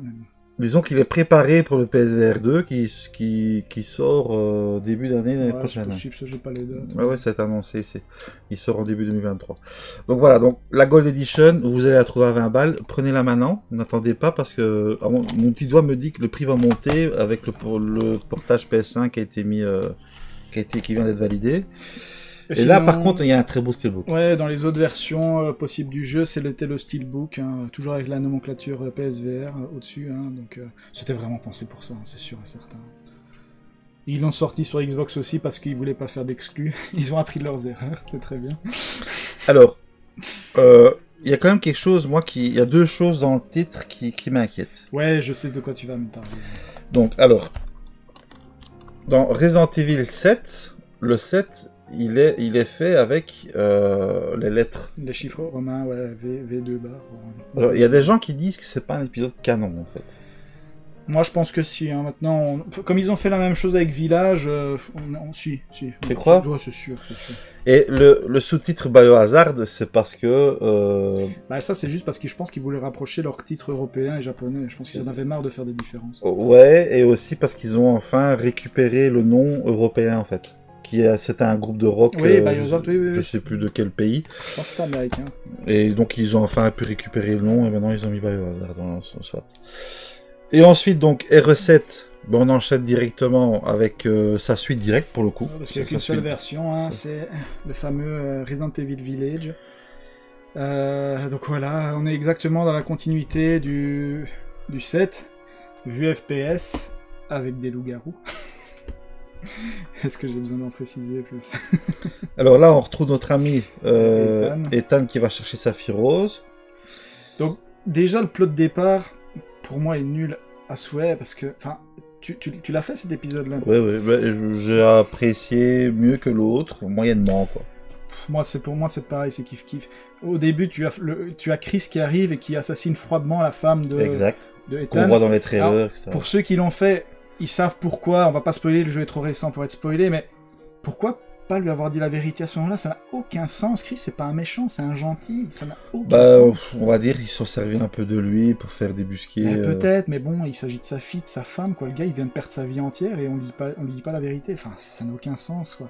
Puis tu vas chez les loups-garous. euh, Ouais, le village est beau. Le village est très bien designé. Alors ils ont mis fort en avant Lady Dimitrescu Ouais, mais c'est. euh, ne voit que un dans quart, le un chapitre tiers 2. du jeu, Même quoi. pas, même pas. On va, on va Ouais. dans le chapitre 2. Après, ils l'ont mis fort en avant. Son design est cool. Son, Ah, son design est très cool, hein, ça c'est sûr. son- Enfin, sa façon d'être, entre guillemets, son, son personnage est cool aussi. Mais ils ont voulu faire le Mister X 2.0. Et le problème, c'est qu'elle peut aller dans 3 ou 4 pièces de son château au grand maximum. Donc, Bah c'est oui, pas un danger. C'est qu'une séquence en plus. c'est pas un danger, c'est rien du tout. Le château est cool, il rappelle fort celui du 4, mais c'est qu'une séquence. Et passer le château, alors le marais, t'as des souvenirs du marais? Oui, oui, euh, oui, Avec le, le, le, blo- le moreau, là, le blob dégueulasse, le poisson mec, là. visuellement, c'était pas très, très beau. hein. Ça ressemble à rien. Les décors sont très beaux dans, dans Ouais, le château, etc. mais L'ADA n'est pas. Voilà, c'est l'ADA. Puis après, ils ont fait le, le passage avec la maison de poupée. Bon, celui qui aime bien, il peut s'y retrouver. C'était un peu survival, quoi. Mais pareil, ça dure quoi, une demi-heure, une heure? Ouais, mais- mais- et, Même encore, pas. et encore, et encore. Il y a une énigme. Après, t'es poursuivi par le bébé géant, c'est tout. quoi. Et à la fin, t'as as quoi? T'as l'usine de robots. C'est Resident Evil. On est dans une, une usine de robots et tu combats une sorte de tracteur géant à la fin, quoi. Avec un chat, Avec le fameux gars qui contrôle. euh, s'il vous plaît. Et, la séquence vraiment finale, on retombe un petit peu dans Call of Duty. Oui, bah. Sans spoiler. Ouais, ouais. bah, on peut dire au moins qu'il y a Chris, quoi. Bon, Ouais, il y a Chris. Mais... Chris euh, au top de sa forme. quoi. voilà. tu tues autant d'ennemis en 10 minutes que pendant tout le jeu. Oui, c'est un peu spécial. Alors, c'est pas mauvais, mais. euh, Ah, c'est pas heureux, quoi. Et de nouveau, ils essaient de rattacher ça comme ils peuvent, avec euh, le boss de fin qui était ami avec Spencer, machin chaud, ça ça n'a aucun sens. c'est- Alors, par contre, vu à la première personne, oui, mais Capcom nous a enfin entendu. Bah oui, ils vont sortir euh, un DLC et une grosse mise à jour. La en- version Gold, la version Gold, Ouais, mais c'est en novembre ou en fin octobre c'est octobre-novembre. Ouais, C'est- enfin, je suis quasiment sûr que c'est octobre. Et, Avec. et là, tu auras donc le 4K60 PS5 Series, tu auras la troisième personne, tu auras un nouveau DLC, on voit Rose adulte. Ouais, c'est ça. Euh, Est-ce qu'on verra enfin le visage de Ethan? Ben, en fait, Ah bah oui, on est obligé maintenant. Ben, ben, en, en fait, je ne sais pas, parce que dans, dans le gameplay qu'on voit, la caméra se met toujours d'une manière qu'on voit pas son visage, en fait. Et Tu crois qu'il va tourner la tête Je en même sais temps que la pas. caméra Et quand tu débloques la statue, tu sais, quand tu débloques, Ouais. il n'y a pas de visage. Ouais, la il, est, il statuette. est noir à cet endroit-là, Ouais. il est sombré. C'est quoi, flouté, ouais. Est-ce qu'ils vont le faire? Après, euh, des... j'avais vu qu'il y avait des modeurs euh, pendant la cinématique de fin, on voit un mec au loin arriver, et il y a des gens qui se sont amusés à faire de la caméra libre pour aller voir le visage à cet endroit-là. Ah. Donc on peut le voir, mais bon, enfin, il faut s'appeler modeur. Et pourquoi flouter son visage? Alors, on sait qu'il a des, des particularités euh, Ouais, physiques, mais euh, on peut pas le dire. Mais euh, je sais pas, c'est- bizarre. C'est vraiment étrange. Donc, ceci clôture la, euh, la saga, j'ai envie de dire, euh, numéroté, quoi. numérotée. On passe dans peut-être ce qui se fait de mieux euh, dans la saga de Resident Evil. Ce sont les remakes, les spin-offs, ce genre de choses. On vous en parle tout de suite, les amis. Alors, qui dit Capcom dit remake, euh, portage HD, ce que tu veux. Et on peut dire que ils ont sorti quand même un jeu qui représente en fait pour moi ce qu'est un vrai remake d'un jeu. Ouais, un vrai remake, euh, peut-être un des meilleurs remakes de tous les temps, de toute Ouais. façon, tout jeu confondu. hein.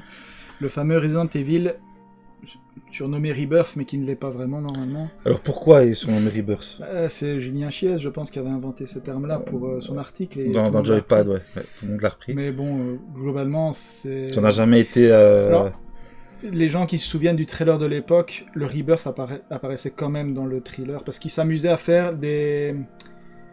Comment dire, des petits jeux de mots avec le RE, si tu veux, et Rebirth apparaissait, donc il l'a il inventé, mais pas, FF mais comme pas ils tellement. font avec FF7 maintenant. C'est ça, ouais. mais il l'a inventé, mais pas tellement, en fait, hein, donc euh. Voilà. Mais bon, qu'est-ce qu'on peut en dire? Ce jeu est extraordinaire, quoi. Alors, bah oui. euh, donc, tantôt, moi, je disais, RE4, c'est l'un de mes Resident Evil préférés. Mais moi, ça, cette version-là, pour moi, c'est le meilleur Resident Evil qui existe. Sûrement. Enfin, en- en- en- quand on, on pense à Resident Evil, c'est à celui qu'on pense en premier, à mon sens. Parce qu'il faut le remettre à son époque, dans son contexte. Il est sorti seulement euh, 4 ans 2002, 2002, ça 4 ou, ou 5 ans après. 2002, de 6 Ah. ans. Donc 5 ans, 6 ans après la, la, la, le- la version PS1, mais t'imagines le gap? C'est un truc de fou, quoi. Mais, euh, ouais, je me souviens, les, les éclairs à travers les fenêtres, etc. Et il n'y avait pas que ça, en fait. C'est que le jeu, il était totalement refait, on est d'accord, mais il y avait des trucs en plus. Ouais, t'avais le manoir qui était agrandi. T'avais la partie Lisa Trevor. Oui, un nouveau, nouveau monstre qui explique les origines du Nemesis. euh, ah, C'était extraordinaire. Le, le plus grand Resident Evil. On est d'accord tous les deux? Oh, c'est- clair. Alors s'il y a vraiment une seule pièce à posséder, euh, peut-être pas sur GameCube maintenant, on verra qu'il y aura d'autres versions après, mais euh, c'est le jeu qu'il faut vraiment posséder. Quoi. Et il est rare nulle part, donc celui-là, il n'y a aucune, euh, aucune espèce de- d'excuse pour ne pas l'avoir si on aime les héros. Quoi. Et encore maintenant, vous le mettez sur une bonne TV cathodique. Je suis sûr que ça fait vraiment le, Ouais, le ça fait café, euh, sûr et certain. À l'époque, il y avait deux, deux, deux petits. euh, Ouais, ouais, il y avait deux, il y avait deux. Il y avait deux. Ouais, il est assez dense. hein. Voilà, vraiment, je- euh, le jeu qui représente ce qu'est un vrai remake. Donc, Donc- ça, c'était les débuts de du partenariat entre euh, Capcom, Capcom et et Nintendo, euh, qui s'est soldé par un demi-échec à cause de l'échec de la On en a GameCube. parlé tantôt. euh. Donc ce jeu est ressorti plus tard euh, bah, sur Wii, dans une version archive. C'est exactement le même jeu, mais sur un seul CD, hein, tout simplement. Donc voilà, rien d'autre à ajouter euh, sur cette version. Quoi. Non. Alors, euh, vu que le 1 av- avait fort fonctionné, le, le, le Rebirth avait fort Bah, en fonctionné, tout cas, il avait impressionné. Il, a, il s'est pas beaucoup vendu, mais il, il- il a impressionné. ils ont repris le même moteur pour faire un autre jeu. Donc voici la suite qui se passe avant. C'est le préquel, quoi. c'est la préquel. Donc c'est le Resident Evil 0, qui, qui était à l'origine prévu pour quelle console, tu le sais ça? Non. 64. Donc il était prévu pour 64. Il existe d'ailleurs euh, des, des- des vidéos de la version 64 dans le fameux train au tout début, tu sais, où on voit Rebecca qui est l'héroïne de cet épisode. Il y a deux, deux, deux. euh, Oui, il y a deux, deux héros. Parce que la particularité de cet épisode, c'est qu'on peut contrôler les deux personnages en même temps. switchés. On switch les deux personnages, on switch les inventaires, et on peut même déposer des objets au sol. Donc fini la malle euh, dans cet épisode. Ça, j'ai trouvé ça con, quoi, parce qu'ils auraient laissé la malle, ça aurait été plus simple au final. Parce que tu dois parfois faire des allers-retours interminables. euh, bon. Au moins, ils ont eu le bon goût de mettre les objets sur la carte. Ça, c'était plutôt intelligent. le Resident Evil le plus dur à ma connaissance. Oui, et si tu as fait le mode dur, sur, en mode dur, chaque balle, il y a le nom du zombie dessus. T'as pas une balle de, à perdre, sinon t'es- t'es foutu. Tu sais pas finir le jeu, quoi. Ou du moins au début. C'est dur, mais un truc de fou, quoi. Je me souviens la chauve-souris géante, Ouais, super chaud. Après, la chauve-souris, on peut la cheeser complètement. hein. Tu peux la. Tu peux te mettre dans un coin. Ouais, et- enfin, et, et tu tires dessus en boucle et elle sait plus avancer, en fait. Si t'as la bonne fréquence.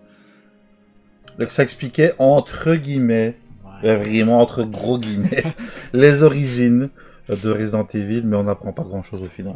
On invente des personnages, on essaye de mettre euh, Mark, euh, comment dire, Wesker et Wi- euh, William Birkin en avant. Bon, c'est- sympa pour le fan, mais c'est pas non plus. euh, Très bien. Donc on les retrouve dans des compilations. Donc ils sont sortis aussi sur PS4 bien sûr, mais dans la version origine euh, sur Xbox et sur Switch. Je suppose que c'est encore en téléchargement. Donc le 0 est sur la cartouche, mais le, le- le premier, le Resident Evil Remake, est à télécharger. hein. Bon. Moi je vous conseillerais vraiment la version One ou PS4 quoi, Ouais, si vous voulez. Et c'est c'est 15 euros et vous avez... Si vous avez jamais joué franchement à ces deux jeux-là, surtout le, le premier, euh, franchement, euh, Ça vaut le coup. hein. ça vaut vraiment, vraiment le coup. hein. Et ils ont sorti au Japon exclusivement euh, un petit collector que Moro vous avait présenté, je pense. euh, Ouais, ouais, ouais, ouais. Voilà, au retour de la Pixel, hein, le, le fameux collector euh, Biohazard, le premier du nom, mais la version PS3, avec la fameuse carte sur tissu du manoir. Ça, c'est moi le goodies que j'ai apprécié dans, dans ce collector. Le fameux passage, on voit le zombie qui se retourne. Ouais, ouais, ouais. Au tout début du jeu. sûr. Le fameux zombie, le premier zombie, le plus puissant de tous parce qu'on peut le tuer jusqu'à 4 ou 5 fois. je pense. Il se relève à chaque fois. Mais vraiment, ça, franchement, c'est une des plus belles pièces Resident Evil, ça. En, ter- en termes de beauté pure, Ouais. c'est clair que c'est magnifique. Quoi. Et le prix, euh, on va dire entre 80 et 100 euros? Ça, c'est vraiment, euh, si tu as de la chance, hein. c'est plutôt 100, 150 maintenant. Ouais. Moi, je, je pense que j'avais acheté 80 dans la Bon, de on nouveau, c'est notre ami Rodrigue qui nous a fait, fait des, très bons prix. Euh... Nous nous t'embrassons, évidemment. Donc ça, c'est un petit peu le duo euh, Zero Rebirth, quoi. On va voir qu'il y a eu d'autres portages et remakes euh, tout de suite. Alors, on poursuit un petit peu dans la vague remake, mais plus génération actuelle. Mhm. Euh, et on, on peut dire que Capcom euh, se lance dans une, une double philosophie avec la saga Resident Evil. On a une année, on a un remake, et une année, on a un nouvel épisode. Donc, on a parlé de 7 et, Ouais. de, et du 8. Et donc, on- Entre les deux, on a eu deux très bons remakes. Enfin, l'un bien meilleur que l'autre. Notre ami Resident Evil 2 qui revient, qui revient d'entre les morts. Il a été en développement pendant 5 ans, quelque chose comme ça, avant de sortir. Super long, mais pour un résultat euh, fameux. ouais, euh, très très bon résultat. Pas parfait, Pas parfait, oui, je suis d'accord avec toi, mais fameux quand même. mais, mais vraiment extraordinaire. Un vrai remake pour le coup. Un vrai remake, ouais. Parce Ouais, que là, quand, quand vous mettez le jeu, euh, vous ils commencez font à jouer. honneur aux deux d'origine, quoi. C'est ça qui est important, c'est pas détrôner l'original, quoi. C'est hum, faire jeu égal avec lui. Moi, je trouve qu'il est très très réussi. Alors, pour moi, il n'y a qu'un seul défaut. Tu sais ce que tu vas me dire, le fait qu'il n'y ait pas deux scénarios différents, euh, c'est deux fois le même. Oui, je suis d'accord avec toi. Ça, c'est le seul défaut du jeu. Parce qu'on en a parlé tantôt, l'épisode PS1, bah, tu, tu faisais les quatre fins, ABCD. Ici, Ouais. tu, as, tu as encore, je pense, ABCD, mais c'est très, très similaire en fait. Ouais, euh, en fait, non, pas vraiment. Il y a les que le début les serres ne sont pas compatibles. C'est deux parties to- totalement Ouais, différentes. c'est ça, et la fin sera la même, quoi qu'il se passe, je pense. hein. Je me trompe peut-être, je me souviens plus, tiens. Hein, tu combats les mêmes boss, quoi se Oui, c'est le même jeu. Ouais, ouais. C'est juste que tu as deux skins différents, quoi. Il n'y a Mhm. pas d'interaction entre tes- sauvegardes. Il y a un trou last boss, je pense, qui apparaît quand t'es dans la partie B, mais je suis pas sûr à 100% comme ça. Alors, autre petit truc qui me chagrine, c'est la tête de. Il a l'air jeune, hein. Ouais, il a l'air il- jeune et innocent, quoi. Il, est tellement euh, badass dans, dans le 4, mais là, il, je sais pas. On s'y habitue, hein. Bah, mais la première fois qu'on le voit, c'est un petit peu étrange. Ils ont pris maintenant le, le- le parti de, de- de choisir des, des acteurs pour faire le motion... euh, comment dire face, la, la face motion, je sais pas comment on l'appelle. Moi, je capture. Et euh, bah, il se trouve que c'est un mannequin, le gars. euh, je pense pas qu'il ait chassé de zombies en vrai dans la vie. Par contre, Claire, elle est très réussie. hein. Ça, euh, Ouais, ouais. Alors, ben, euh, grand jeu, visuellement incroyable, le son en 3D, euh, Et surtout, pour moi, la enfin, feature joue du jeu, casque, la feature du jeu la plus importante, c'est le fameux tyran, le Mister X. là, hein. Oui, oui, oui. Extraordinaire, quoi. Extraordinaire. Euh, vraiment incroyable. Un, un jeu, oui, vraiment fou. Alors, avec Resident, Resident Evil 2 et Resident Evil, oui, avec c'est le premier, ils ont commencé à sortir des collectors où chaque fois on a une grande Ouais. statuette de plus ou moins 30 cm qui, qui reprend le personnage de, bah, Enfin, d'un des héros, parce qu'ici, c'est Léon. hein. Il a pas Claire. Là, c'est Lé- Léon, dans le 3, c'est Claire, et dans Non, le... c'est Jill. C'est Jill, pardon, et dans le l'autre, euh, c'est Chris. T'as Chris, et c'est C'est tout tout. pour l'instant. C'est tout, on a ces trois-là. Et c'est chaque fois la même malle, Dans quoi. le 7, t'as la, t'as la maison des Baker, mais c'est Ouais. pas le personnage. Elle est juste là-bas, mais bon, on vous a préparé tous les collectors. Euh, mais voilà, donc grand jeu, pareil, vous allez le trouver à pas cher maintenant. Euh, foncez, n'hésitez pas. On pouvait pas Très être déçu, quoi. Très fidèle en termes d'histoire. Il y a des changements, et c'est- maintenant, à mon avis... Enfin, je pense que Capcom a dans l'idée que c'est celle-là qui est canon, et puis l'autre, quoi. Donc c'est légèrement plus ambigu entre Ada et Léon, par exemple, dans cette version-là que dans l'autre. Ouais, mais aussi, Mm. t'as une mise en scène qui est beaucoup plus détaillée qu'à l'époque, donc euh, tu peux te Ah permettre, ouais, c'est tu peux te sûr, permettre bien plus de choses, quoi. C'est sûr. Et puis les monstres sont extrêmement réussis. Ils font vraiment peur, pour le coup. C'est très stressant, Très gore, très gore. ouais. méga gore. Ouais, ouais, ouais. Mais c'est une réussite sur tous les plans, à mon sens. Et le fait qu'ils jouent sur la nostalgie, bon, c'est payant, donc c'est dégueulasse. Mais quand même, Ouais, la musique. t'as les musiques euh, originales, mais je pense que t'avais un Si code. t'as dans le collector. Voilà, moi je l'avais donc.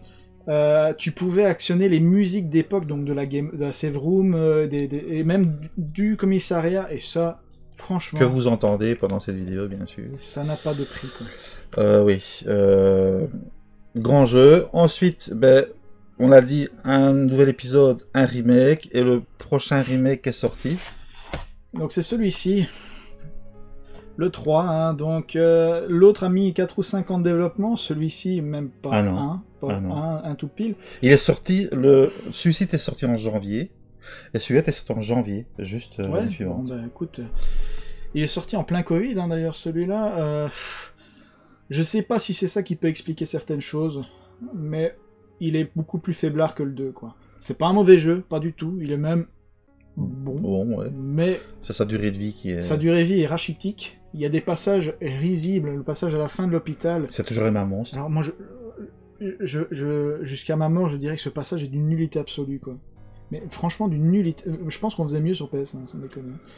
Il y a très peu de modèles de zombies différents. Oui, et les dégâts ne sont plus autant localisés que sur le 2, alors qu'ils avaient fait des dégâts hyper localisés. Tu tirais dans la jambe, tu voyais le bout de chair qui s'enlevait là où tu avais tiré précisément. C'est plus le cas ici, c'est enlevé, on ne sait pas pourquoi.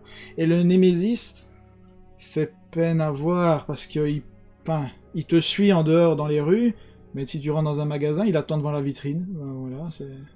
Il y a le beffroi qui a été enlevé. Et le- ça... le beffroi est enlevé. Mais je pense qu'ils ont dit qu'ils le rajouteraient, ou je me trompe Ils avaient dit... ils ont pas dit qu'ils sortiraient une version améliorée avec le beffroi Ben, euh, Ça a été en pourparler pendant tout un pareil, il vient de passer en, en Mm. format PS5 et série X, si je peux dire, a mais il été n'y a, y a hein, rien de, nouveau. Quoi. Ça a été abandonné. Mais bon, voilà. Pff, Correct, mais sans plus. hein. On peut. Ma première partie à blanc a duré deux heures et demie, je pense. Euh, Il y a moins de finir en une heure, je là. Oui, oui, même en 50 minutes. Oui, parce qu'il y a un succès finir en moins d'une heure. Ouais, et la, la difficulté, même en infernal, la plus haute difficulté, c'est. Je viens de me souvenir en voyant la cover à l'arrière, il y a le fameux Resident Evil Resistance. qui est toujours pas sorti. hein. Non, c'est Reverse qui est pas sorti. Ouais, t'as raison, le, le reverse c'est avec le Le village. Hero 8. Ouais, c'est ça. Et celui-là, c'est quand tu contrôles l'espèce de, maître du jeu, là. Ouais, c'est ça, avec les étudiants qui doivent s'échapper. Ouais. J'ai pas joué, je vais pas en parler, je vais pas cracher dessus. C'est peut-être bien, c'est même peut-être parfait, En fait, tu, fais deux parties, t'as fait le tour, quoi. Ouais, c'est vraiment pas ouf du tout, quoi. Voilà, donc le en- autant le mode mercenaire passait bien en tant que petite- bonus ouais, euh, dans les autres jeux, autant après ils ont voulu faire autre chose que ça passe un petit peu moins bien. Mhm. Donc ça c'était les, les remakes et puis il y a eu une petite saga. euh, De seulement deux épisodes pour le moment. on parle beaucoup d'un troisième. C'est dans les murs en tout cas, ouais, effectivement. Le fameux euh, Resident Evil Révélation, Et ça c'est vrai que c'est la première version. qui est sorti sur 3DS, la première version, ouais, qui était sortie avec le fameux Circle Pad, hein, donc tu sais, une extension pour la 3DS pour avoir deux sticks pour pouvoir contrôler la caméra. Mais C'était pas un luxe, hein, parce que C'est impossible à jouer. C'est Et, un- pour- et pour la 3DS, très beau. ouais. est très très beau et euh, vous allez le voir, on l'a ressorti plusieurs fois et il passe toujours très bien. Enfin, c'est pas des graphismes super beaux, mais bon, c'est pas dégueulasse non plus, quoi. hein, donc, euh, moi j'ai bien aimé cet épisode. Je trouve qu'il est, qu'il était sympa. Alors, Révélation, qui est un titre un petit peu étrange, parce que on va révéler au final Rien. pas grand chose. Donc là, il y a une particularité, c'est qu'on va jouer encore de nouveau des binômes de personnages chaque Ouais, fois. c'est ça. ouais. Et, Et c'est par chapitre, hein, c'est des épisodes. c'est des épisodes. Et euh, il y a une mécanique avec le scanner. Tu te souviens de ça? Oui, oui, bien sûr. Oui, oui. Donc tu scannes les différents ennemis ou les Et- différents et les éléments du Pour décor. trouver les objets. C'est ça. ouais, ouais. Donc ça, ça m'avait un peu gavé, moi. Parce que moi qui suis Ouais. un petit peu maniaque, j'avais tendance à scanner un peu Moi tout. aussi. Je n'arrêtais plus de scanner et ça m'énervait. ça- ça. Tiens, est-ce que tu savais qu'il y a une coquille, et ça pour les collectionneurs? Je ne l'ai pas malheureusement, mais... Dans, dans, dans l'écriture? Ouais, dans la version américaine, sur la tranche, il n'est pas noté Resident Evil Révélation, mais Resident Evil Révélaton. J'aimerais bien posséder cette version, parce que j'aime bien les coquilles. Mais euh... Voilà. Ouais, bon, moi j'ai bien aimé. Alors, je vais même te dire, j'ai préféré le mode bonus au jeu de base. Le, le bateau fantôme, est-ce que ça te dit quelque chose Oh, C'est une sorte de mercenarisme, mais bien plus euh, cadré, entre guillemets. Tu peux le faire en coop, et ça prend un aspect RPG, donc tu débloques des armes de plus en plus puissantes jusqu'à un level maximum, et tu, tu vois les dégâts que tu fais aux monstres chiffrés, euh, ce qui n'est pas dans le jeu de base. Euh, et c'est vraiment, vraiment cool. Et à deux, ça joue super bien, même encore maintenant. C'était d'ailleurs très dur à finir à la fin, parce que t'avais des ennemis extrêmement retors, quoi. Mais... Toi, t'as bien aimé Ouais, ouais, j'ai bien aimé. ouais. Bah d'ailleurs, Ah bon, on vous, on vous conseille pas d'y jouer dans ce 3DS maintenant, puisqu'on peut y jouer de manière plus euh, souple. plus souple, oui. Euh, sur notamment, bah, il, y a eu, il est d'abord sorti sur PS3 3.6 Voilà, dans cette version-ci. et ils était- sont ressortis sur PS4 et One. Oui, mais seulement en euh, digital, si je ne me trompe Non, pas. non, ils sont en boîte. Tu l'as en... Il est en boîte? Ouais, ouais. Ah bah écoute, je ne l'ai pas. Ils sont en boîte. Ou et je- je pense que je peux. Ou je ne l'ai pas pris. Parce que j'ai peut-être oublié plein de choses. Je peux vous le choper. Euh, Là. Celui-là. Voilà. Ah oui, mais je l'ai, oui, effectivement, il est à la maison. Bah, c'est le même. Hein. Ouais, ouais. C'est le même jeu. C'est le même jeu. D'ailleurs, regarde, c'est la suite. Ici, t'as une main sur le hublot et t'as et t'as, euh, Jill qui regarde par le hublot pour y passer la main. c'est con. Et je m'étais jamais fait. euh, Non, c'est débile. Donc oui, jouer plus sur PS4 ou, ou One par exemple. Pour euh, la version 3.6 c'est très bien aussi. Il n'y a pas de souci. euh. Et ensuite, vu que ça a fonctionné, Ils ont sorti une version euh, 2. Révélation 2. Donc c'est très orienté sur la famille Wesker en fait. Euh, Ceux-là, oui. Révélation. Bah, pff, on sent que c'est du cousu par après. Quoi. Ouais, ouais, bon, est-ce qu'on spoil ou pas? Non, peut-être pas. Bon, on contrôle Barry dans celui-là, ce qui est pas Oui, c'est vrai, on contrôle Barry. C'est la première fois qu'on joue Barry. Officiellement, oui. Officiellement, oui. Euh, et alors, il y avait cette idée de- d'épisode, de, de, comment dire, chapitre épisodique qui sortait toutes les semaines ou tous les mois, je ne sais plus exactement. Donc, c'était un petit peu la carotte. Avant qui- qu'il y ait la boîte, ouais. qui nous faisait dire tiens euh, voulu vite faire la un petit feuilleton. euh, voilà c'est ça ça n'a pas hyper bien fonctionné c'était pas génial génial Mais D'ailleurs, quand tu joues à la, dans la version boîte, c'est clairement indiqué, tu finis l'ép- l'épisode 1, quoi. Ouais, et puis ouais. tu passes à l'épisode 2. Ben, je pense qu'ils ont sincèrement voulu copier le modèle de Walking Dead mais bon c'est Ouais, c'est pas faux, c'est celui-là. pas, c'est pas la même chose et Walking Non. Dead c'est vraiment euh, très très scénarisé et ici bon ça l'est moins enfin j'ai envie de continuer mon jeu Ouais, tu jouais euh, chaque fois deux heures, au final, euh, c'était pas assez, quoi. Mais oui, euh, d'ailleurs, il est mis box 7, ouais bah c'est ouais. pas pour rien. Donc, euh, on a tous les épisodes dans, dans cette boîte. Et on avait un petit steelbook sympa, oui qui normalement fait du son, mais euh, les piles sont, il y a une petite, euh, un petit bouton ici mais voilà les piles sont mortes sont mortes. L'œil est un. T'as vu, l'œil est dans un format différent du reste de la boîte. C'est pas mal fait, hein. Ouais, c'est une belle, une belle pièce. Avec tous les personnages jouables derrière. Donc la fille de Barry, Barry, la petite fille, je me souviens plus son nom. Et Claire. Ah oui, la petite fille, c'est vrai que c'était lourd avec la petite fille. Bah, elle devait quoi oui, Éclairer les ennemis euh, pour les stopper C'était pas un truc comme ça Je sais plus trop. C'est un peu à la Ashley, quoi. Ouais, un ouais, gameplay ouais. comme ça. Donc voilà, révélation, on va dire. euh, En demi-teinte, un épisode 1, moi je trouve très réussi, et le 2, qui l'est moins, et un peu cousu de fil blanc, mais pas mauvais pour autant, quoi. bah, vous, vous les avez pour rien, autant, autant se les prendre, euh, et ça vous fait un petit peu plus de Resident Evil. Bah, je préfère quand même les révélations au 7 ou au 8, quoi. Ou- Ouais, je serais te- tenté de te dire oui. Ouais. Voilà, et on passe maintenant à tous les spin-offs, c'est ça? Ouais, c'est ça. Et il y en a. Et il y en a. Alors, on a vu la saga mère, on a vu les remakes, maintenant on va parler des spin-offs, et il y en a quelques-uns. Quelques-uns, quoi. hein, ouais. Alors, le premier spin-off qui me vient à l'esprit euh, pour les Resident Evil, c'est cet épisode PS1 de Resident Evil Survivor, qui est une histoire euh, parallèle, euh, soi-disant d'un pote de Léon qui aurait perdu la mémoire. C'est en vue FPS, c'est un, un rail shooter mais sans les rails. Bah, c'était pour le G-Con hein, de Namco. Ah, c'est ça. Et petite collab Namco Capcom, vu qu'ils s'entendent bien. Et euh... C'est ouais. pas mauvais, mauvais, mais c'est pas non plus. euh, bon, c'est est du House of the Dead, tu peux marcher. C'est ça, bon, voilà.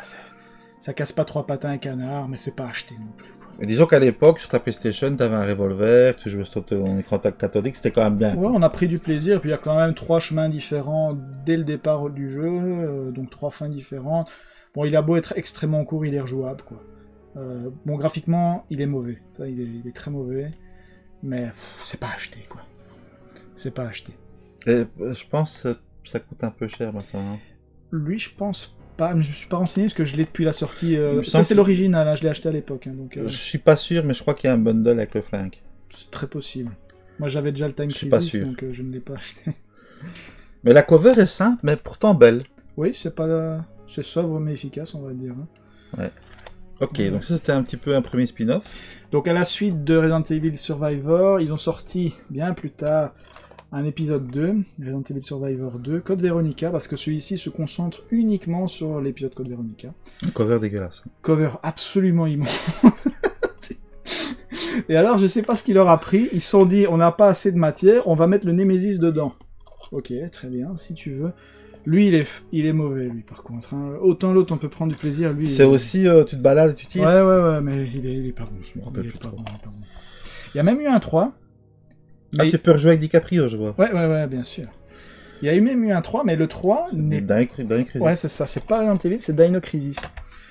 Alors cependant, ils ont quand même un peu continué avec cette idée de vue FPS pour les tirs, avec ce fameux euh, Resident Evil Dead Aim. Qui lui est une super cover. par contre. Alors, je trouve que la cover est cool, le jeu est cool, mais ça plaira pas à tout le monde parce que tu contrôles euh, dans, le personnage dans des décors un peu à la code Veronica, mais dès que tu tires, tu passes en vue FPS. C'est ça, ouais, c'est ça. Ça plaît ou ça plaît pas, chacun voit. Bah, ça allait quand même niveau gameplay. C'est pas non plus foufou, mais c'était quand même plus jouable que les survivors, je trouve. Bon, il était pas mauvais lui. Hein. Il était pas mauvais. Par contre, le cara design du boss de fin, je, je ne comprends toujours pas. J'ai pas de souvenance. Bon, je laisse les gens se faire leur propre opinion. Quoi. Par contre, lui, c'est peut-être le spin-off le plus cher à trouver, je pense. Enfin, Ah. sauf les, port- les versions portables, mais il est pas. il- Lui, lui, il est, Oui, il est cher, oui. Mais je, mais je dirais quand même 40-50 euros pour ça. Ouais, Ouais, peut-être, c'est possible. Je sais pas. Moi, je, je, je les ai depuis bien longtemps, tous ceux-là, donc euh, je, je, les, pas- je les ai pas recherchés. Je me, renseigne pas sur les prix. Quoi. Mais bon, si tu conseilles euh, un des trois en termes de, ouais, facilement. de jeu de tir, c'est celui-là. Quoi. Ouais, sûrement. Ok.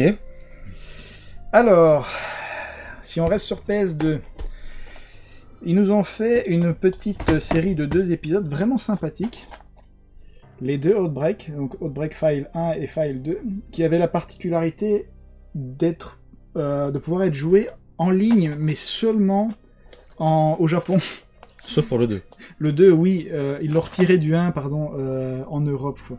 Ça n'avait aucun sens Ouais, de tu- retirer, Est-ce que c'était là la feature En quoi. fait, tu jouais des autres survivants pendant Resident Evil 2, Ça, des lambda, quoi, des, des, des gens euh, du quotidien. qui ont chacun leurs euh, caractéristiques, un gros inventaire, une arme, Voilà, plus c'est ça, plus pour esquiver les ennemis, voilà, voilà. Euh, c'était pas si mal que ça. Par contre, c'était quand même méga rigide, le. Ouais, c'est rigide, et puis euh, c'est assez arcade, hein, parce que tu as un système d'empoisonnement du virus. si Oui, oui, au c'est ça, c'est euh, ça, c'est ça, c'est ça. Il faut aimer, quoi. Bon, après, il y, a des- il y a des choses vraiment bien dans ces deux épisodes. Moi, je n'ai fait que une partie du 1, j'ai pas encore touché au 2 pour l'instant, donc je vais pas en parler non plus. Et moi, j'avais plus joué au 2 qu'au premier.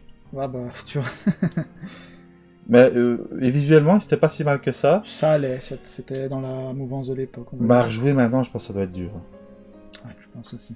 Par contre, les covers, euh, là, ils ont fait un effort. Alors, est-ce que Capcom les, les ressortira un jour euh, en version Je pense euh, pas. ouais. bundle HD les, les gens le demandent, hein, ils sont Ça, réclamés. ça m'étonnerait. Ça m'étonnerait, mais bon, ouais, on serait content, mais ça m'étonnerait. À voir. Ok, ensuite.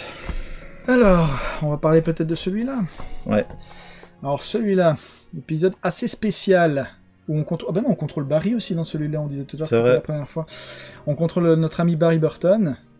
euh, dans un jeu qui sera qui restera pas dans les mémoires pour ses qualités. Donc euh, on se balade dans un univers un peu à la Metal Gear à l'ancienne, avec euh, des combats euh, en QTE, un peu c'est du QTE hein, finalement. Les musiques sont pas mauvaises, mais le jeu n'est pas non plus euh, génial. Alors il est pas canon du tout, parce qu'à la, fin on se rend compte que Léon est un, est un mutant, ce qu'il faut évidemment. Donc non, c'est pas canon. Par contre, la cover est magnifique. Tu sais quoi? C'est pas les prémices de révélation ça. Ouais, le bateau. le bateau. Oui, euh, par contre, ça, de souvenance, Ouais, c'est- difficile à trouver. Ah celui-là si vous le voulez il va falloir se lever tôt, hein, parce que il, vaut, il vaut deux bras maintenant. Ok. Alors, on a eu Le deux- retour des jeux de tir. Le retour, et cette fois-ci vraiment sur rail. On a eu deux épisodes, oui. Euh, donc de- des rail shooters purs et durs. Celui-là qui se concentre sur Resident Evil. Cinq. Non, non, non, non. 0, 1 et 3. L'Umbrella Chronicle, tu veux dire? Ouais, celui-là. Et celui-là qui se, qui se euh, focalise sur le 2, Code Veronica, et un épisode inédit, euh, où on voit les origines story de la- l'amitié entre Krauser et Léon. Alors, je peux en parler un petit peu. Celui-là, je l'ai bien poncé. Il est... Moi, je le trouve vraiment cool en jeu de, rail shooter. Vraiment, vraiment cool. On peut le jouer à deux, il est super fun. Mais celui-là, pour moi, il a un gros défaut. Alors, les gens vont peut-être pas être d'accord avec moi. Je suis pas un grand amateur de rail shooter à la base. Mais dans celui-ci, la caméra trempe tout le temps. Tout le temps. On ne sait jamais viser. Alors quand tu dois faire un tir tête en plein milieu du front pour faire un headshot, que la tête du zombie explose, là c'est pas possible quoi. J'ai- pas, pas fait ce jeu plein de fois parce que j'ai pas la, la caméra me donnait la gerbe en fait. Alors que celui-ci, bon c'est qu'un rail shooter, mais il est cool. Il peut, on peut passer une bonne soirée à deux là-dessus. Et en plus il y a plein d'éléments à débloquer. Il y avait un chapitre inédit avec un, qui avait Tofu. Ils avaient mis plein de trucs quoi. Les covers sont chouettes. Et Il y avait même un épisode avec Wesker où on voit comment il s'enfuit du manoir à la fin du 1. Bah ça c'est vraiment cool quoi. Et aussi un épisode avec Rebecca où on voit comment elle est rentrée dans le manoir après Moi, le 0. je les ai aussi, mais j'ai jamais joué. Bah je les trouve cool. Enfin. Surtout le 1. Alors ils existent aussi en version euh, bundle avec le, le light gun. hein. Euh, donc voilà, c'est exactement le même jeu. Il n'y a rien de spécial à l'intérieur, hein, juste le light gun et le jeu, rien du tout d'autre. Voilà. Alors, dans les curiosités, il y a celui-ci qui vaut quand même cher maintenant. Alors c'est une, exclusi- une exclusivité Japon qui reprend en fait les deux rail shooters qu'on vient de voir, mais pour PS3, qui se jouait avec la, le PlayStation Move, hein, si tu veux. Ici, D'ailleurs, ils étaient en démat euh, sur le store. Ouais, c'est possible. Moi, j'ai, ils, étaient... ils sont jamais sortis sur euh, Xbox, donc euh, je les ai pas fait. Mais les voici en version disque sur euh, PS3. Mais Bon, c'est le même jeu. C'est le même jeu, c'est plutôt cool de les avoir, quoi. Bon, euh. Et là, on va commencer à entrer dans un sujet qui fait mal. bon, celui qui fait un peu moins mal que l'autre. Ouais, l'autre, c'est le, le summum. Bon, celui-ci. Ben, moi, je vais te dire, à, à l'époque, j'avais quand même bien aimé. Bon, je vais pas dire que j'a- j'avais surkiffé, mais euh, ouais, donc t'as, t'as- c'est un petit peu du fan service Resident Evil, quoi. T'as tous les Mais- monstres. Oui et non, parce que qui dit fanservice dit doit plaire aux fans. Mais moi, j'ai trouvé qu'il prenait RE2 et qu'il chiait dessus, tu vois.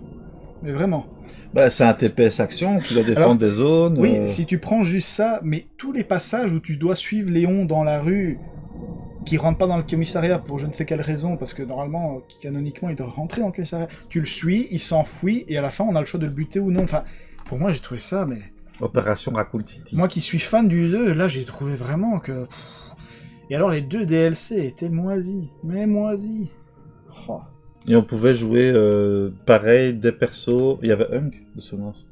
Il- Au tout début il y a Hunk, mais après tu joues euh, l'équipe de Hunk quoi. Donc euh, c'est Bah, c'est ça, c'est ça. une équipe de, qu'ils avaient ils ont chacun leur spéciaux, pouvoir, ouais. Bon, c'est vrai que c'est pas ouf. hein. On pouvait jouer à 4, c'était la petite carotte qui permettait de dire oui, peut-être. Il y avait un mode en ligne, euh, Battle Royale versus machin. Bah, c'était. Bon, ça défoulait un petit peu, on va dire. T'avais même plusieurs tyrans en même temps, si je me souviens bien à un moment. Ouais, t'en avais, t'en avais deux, deux super tyrans transformés, ouais, ouais, ouais. ouais. Bon, c'est vrai que c'est pas ouf, mais bon, voilà. Ouais, si t'as, si t'as une demi-journée à perdre, ouais, pourquoi pas, si tu veux. Mais c'est pas le pire. Le pire, le voici. Alors, on a parlé tout à l'heure de Mercenaries, du mode bonus de beaucoup de RE. Ils se sont dit que c'était une bonne idée de le mettre là-dedans. En fait, c'est le Metal Gear Survive de chez Capcom, ça. Aussi mauvais. Est-ce que Metal Gear Survive est même pas mieux? Je vais faire des ennemis. Parce que là, on voit, ils ont dans leur dos un espèce de bouclier et qui euh, t'empêche d'être attaqué par les zombies. Et quand C'est tu ça. joues en joueur contre joueur, t'essaies de péter le bouclier pour C'est qu'ils se fassent bouffer Ouais, par les zombies. Et alors, tu, tu les vois courir avec un, un FOV euh, bizarre. Enfin, tu vois un angle improbable. Euh, Dans des maps, les maps, ça peut être cool parce que bon, c'était les maps euh, iconiques de la saga. On a le commissariat, on a le village du 4, etc. etc. Bon, déjà, il y a personne en ligne. J'ai essayé. Il n'y a pas un, un chat. Il y a personne. Vous pouvez attendre une demi-journée, il n'y a personne. Bah, si vous voulez jouer euh, entre amis. Ah, il faut, il faut se prévoir une session alors. hein. On, on peut s'en faire une à la, à la limite. Moi, je l'ai, toi, tu l'as. Mais attends, c'est combien de joueurs minimum? Ça, c'est the question.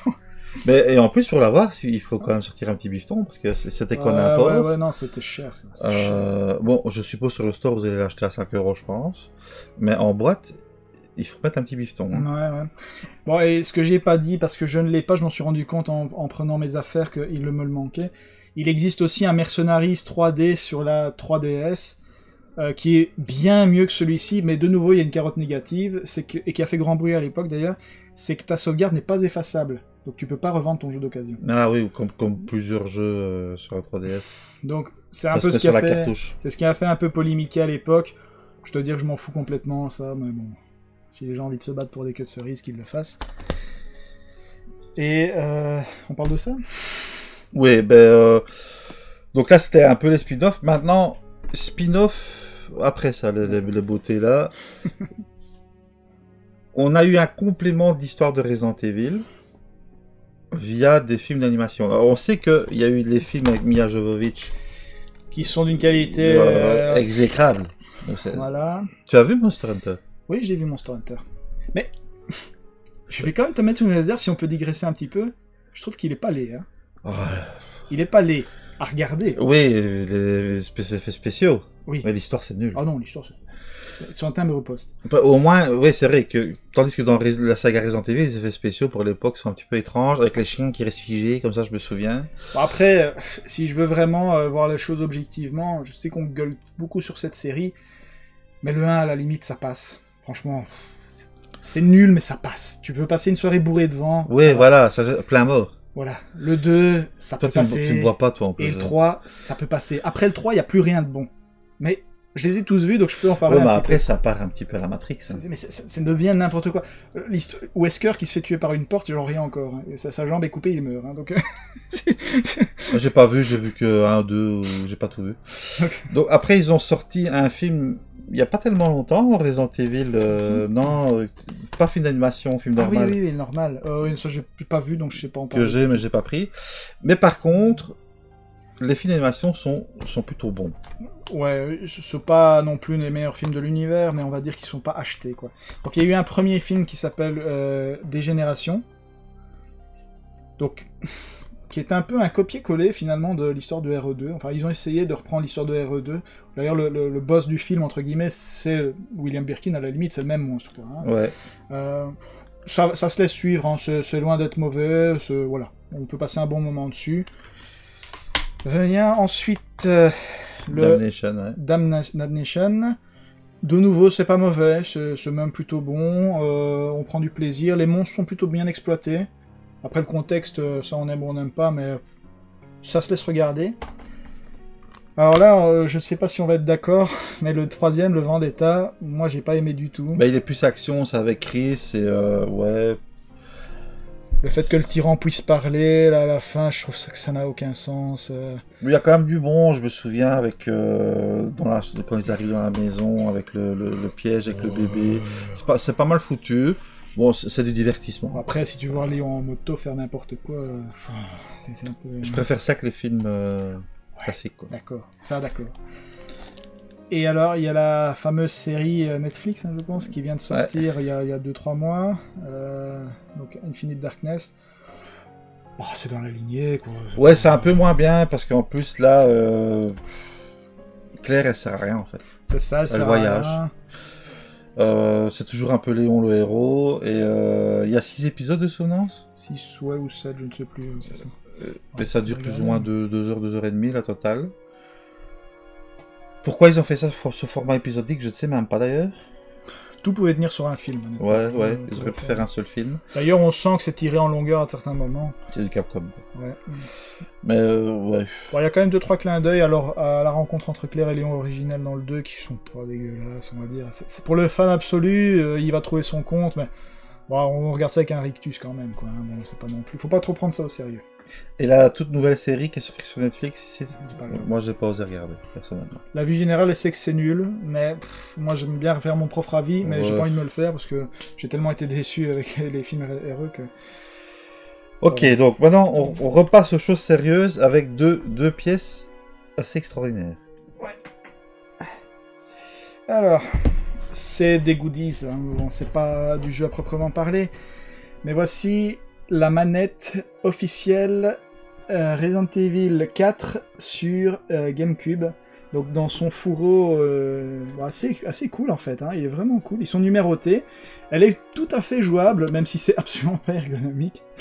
Et alors, Elle fait du son elle fait du son, elle fait le bruit de la tronçonneuse, hein, donc on voit derrière quand notre pote le, le, le- comment dire, le bûcheron L'homme masqué.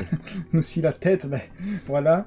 Et celle-là est vraiment cool, et- et- mais évidemment, comme la- le, le jeu est sorti à l'époque sur GameCube et sur PS2, ben, Sony a dit, Eh, nous aussi on veut la nôtre. Et donc voici la manette officielle, je vais essayer de bien la cadrer, PS2, même chose. Celle-là est rouge, Celle-là est rouge, mais bon, c'est une manette PS2 quand même, tout à fait jouable, fait aussi Et le bruit. coffret est en bois, pas en carton. Le coffret est en bois et vitre, et pas en carton et plastique. Ouais, Tu préfères laquelle, toi? Moi je serais presque tenté de te dire la, la version euh, GameCube quand même. Ouais, moi, pareil. Je préfère la version GameCube que la version PS2. Ouais, ouais. Donc, euh, Elle est plus chère, la version GameCube. hein. oh, euh, écoute, je me suis pas renseigné sur les prix. La version PS2, je ne l'avais pas à la base, c'est ma femme qui me l'a offert pour mon anniversaire il y a quelques années. Je le remercie. Et la version GameCube, je l'avais, euh, j'avais acheté, je ne sais plus où. Enfin bon. Bah, c'est des belles versions quand même. Hein. C'est... assez singulier, quoi. Enfin, Dans une collection, ça le fait, quoi. pas pour jouer avec, mais d'accord. Non, non, non. Mais à essayer une fois quand même pour rigoler. euh, mais pour jouer avec, non. Après, pour être honnête, j'ai essayé de démonter, euh, donc de l'ouvrir. La, la version GameCube, ça se démonte, ça se joue, il n'y a pas de problème, tu la remets. Mais c'est le PS2. C'est la cata. Oh la vache, euh, il faut un brevet d'ingénieur, hein, c'est un truc de fou. hein. Laisse tomber, quoi. D'ailleurs, vous la laissez comme ça vos collections et ne touchez pas. Nous sommes, d'accord. Ok, on va terminer avec des objets de luxe, on peut dire. euh, Ouais, enfin, moi je considère ça comme des objets de luxe, mais On chacun sera son avis, quoi. On vous montre ça de suite, les amis. Alors, on termine avec les deux plus belles pièces de la collection, on peut dire En tout cas, un héros, ouais, enfin, c'est plutôt Oui, rare. oui, en Resident Evil. Donc, il y a des coffrets pour euh, les anniversaires de la série, comme on voit par exemple avec FF, etc. Mhm. Et ils ont fait ça pour Resident Evil. Et il y en a que deux, ces deux-là? Euh, je pense qu'actuellement, il y en a que deux en physique, oui. Oui, oui, oui. Je pense. Ok. Donc, le premier que tu nous présentes? Bah, on va faire dans l'ordre, c'est le plus beau des deux. Moi, je serais David garder le plus Tu, beau tu gardes Ouais, D'accord. On va faire d'abord le 15e anniversaire avant le 5e. Comme ça, on a un petit peu plus Ça de va. place. Donc, voici le coffret qu'ils ont sorti pour le 15e anniversaire de la série. Donc, c'était en 2011, Hein, euh, 2011. ouais, 11-12 par là. Euh, D'ailleurs, c'est noté, hein, 15e anniversary box. Donc, c'est juste que. Resident Evil, ça 2011, Resident Evil 5 Euh, C'était jusqu'au Resident Evil 5, mais il n'était pas encore sorti, je pense, au moment de la sortie de la boîte, donc il n'était pas inclus dedans, mais il y avait un encart prévu pour le mettre à sa sortie. Donc, euh, voilà. Voici l'arrière. J'ai encore le four au Jap avec, évidemment. Donc, qu'est-ce qu'on a dedans? Je vais le sortir.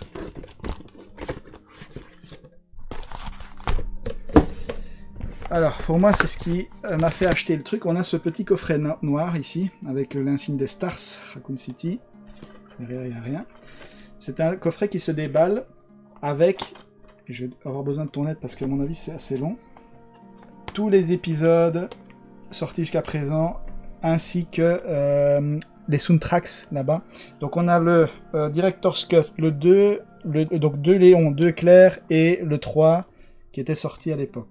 Tout PlayStation. Tout PlayStation, hein, ce- cette box est PlayStation, il n'y a pas d'épisode Dreamcast dessus. Et les, les CD, on dirait des, des quoi Des, des disques? Mais On- donc on tu as, là des tu as l'origine. Ouais. Ouais, ouais, mais oui, bah, c'est vrai, c'est vrai. Et là, je vois que c'est le, le- la soundtrack de Code Veronica et la soundtrack de Resident Evil 4. Donc ils ont quand même voulu garder une cohérence, euh, faire tout. euh, C'est les disques floppy comme quoi on c'est ça, ouais, floppy disk. Et que tu Est-ce que tu te souviens du, du mot de passe et du code dans Resident Evil 1 Euh, de de l'ordinateur à la fin? Donc il y a Guest, si je me souviens bien. Ça c'est pour la- l'ID et Donc le code là- donc il y a Ada. Il y a dans l'original il y a Cell et ils ont remis ça. Et, euh, non, à l'origine sur PS1 c'était Moll, M-O-L-E. Mall, ouais. Mais quand tu essayes de le mettre sur la version Rebirth, t'entends euh, Tofu qui, qui gueule et qui dit ah, c'est pas correct. Ah, je savais pas ça. Donc tu peux l'essayer, ce sera pas bon. Et il faut mettre Cell évidemment pour euh, que ça soit bon. C'est Tom et ta collab. Alors qu'est-ce qu'on a d'autre? On avait ici une petite pochette, euh, il n'y a rien dessus, elle est toute blanche, dans laquelle il y avait quelques petits goodies, euh, bon, des, des insignes, euh, du Stars, euh, des, des- des petits autocollants, euh, des petits pins. ouais. Je pense qu'il y a aussi la En fait, jaquette il y a de, tous les- de tous- ouais, il y a tous Il y a les notices de tous les jeux. C'est ça. En plus.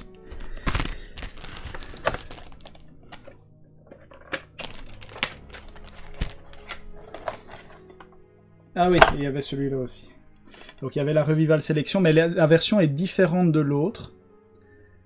Parce qu'il n'y a, pas la, la- il a pas la notation HD dessus ici. Oui, tu nous as montré tantôt. Ouais, ouais. Donc voilà. Et tu pouvais y rajouter Resident Evil 5. Tu pouvais rajouter Resident Evil 5, il y avait un petit, un- une petite, euh, comment dire, euh, pochette Celle qu'on a prévue- enlevé tantôt Je, je l'ai enlevé tantôt, mais euh, en fait, il y a une petite euh, astuce, c'est que je sais pas ce que Capcom a avec les tailles, mais la pochette est trop petite pour contenir la boîte du. Même du- pour la version PS3. Ouais, ouais, non, c'est trop petit. J'ai essayé toutes les versions possibles, même la Jap, ça rentre pas. Il manque quelques millimètres, ça rentre pas. Donc, euh, je sais pas. Bah, c'est une belle pièce. tout. Ouais, je trouve que c'est une belle pièce. C'est pas la plus belle des deux, forcément, mais. Ça coûte cher, ça?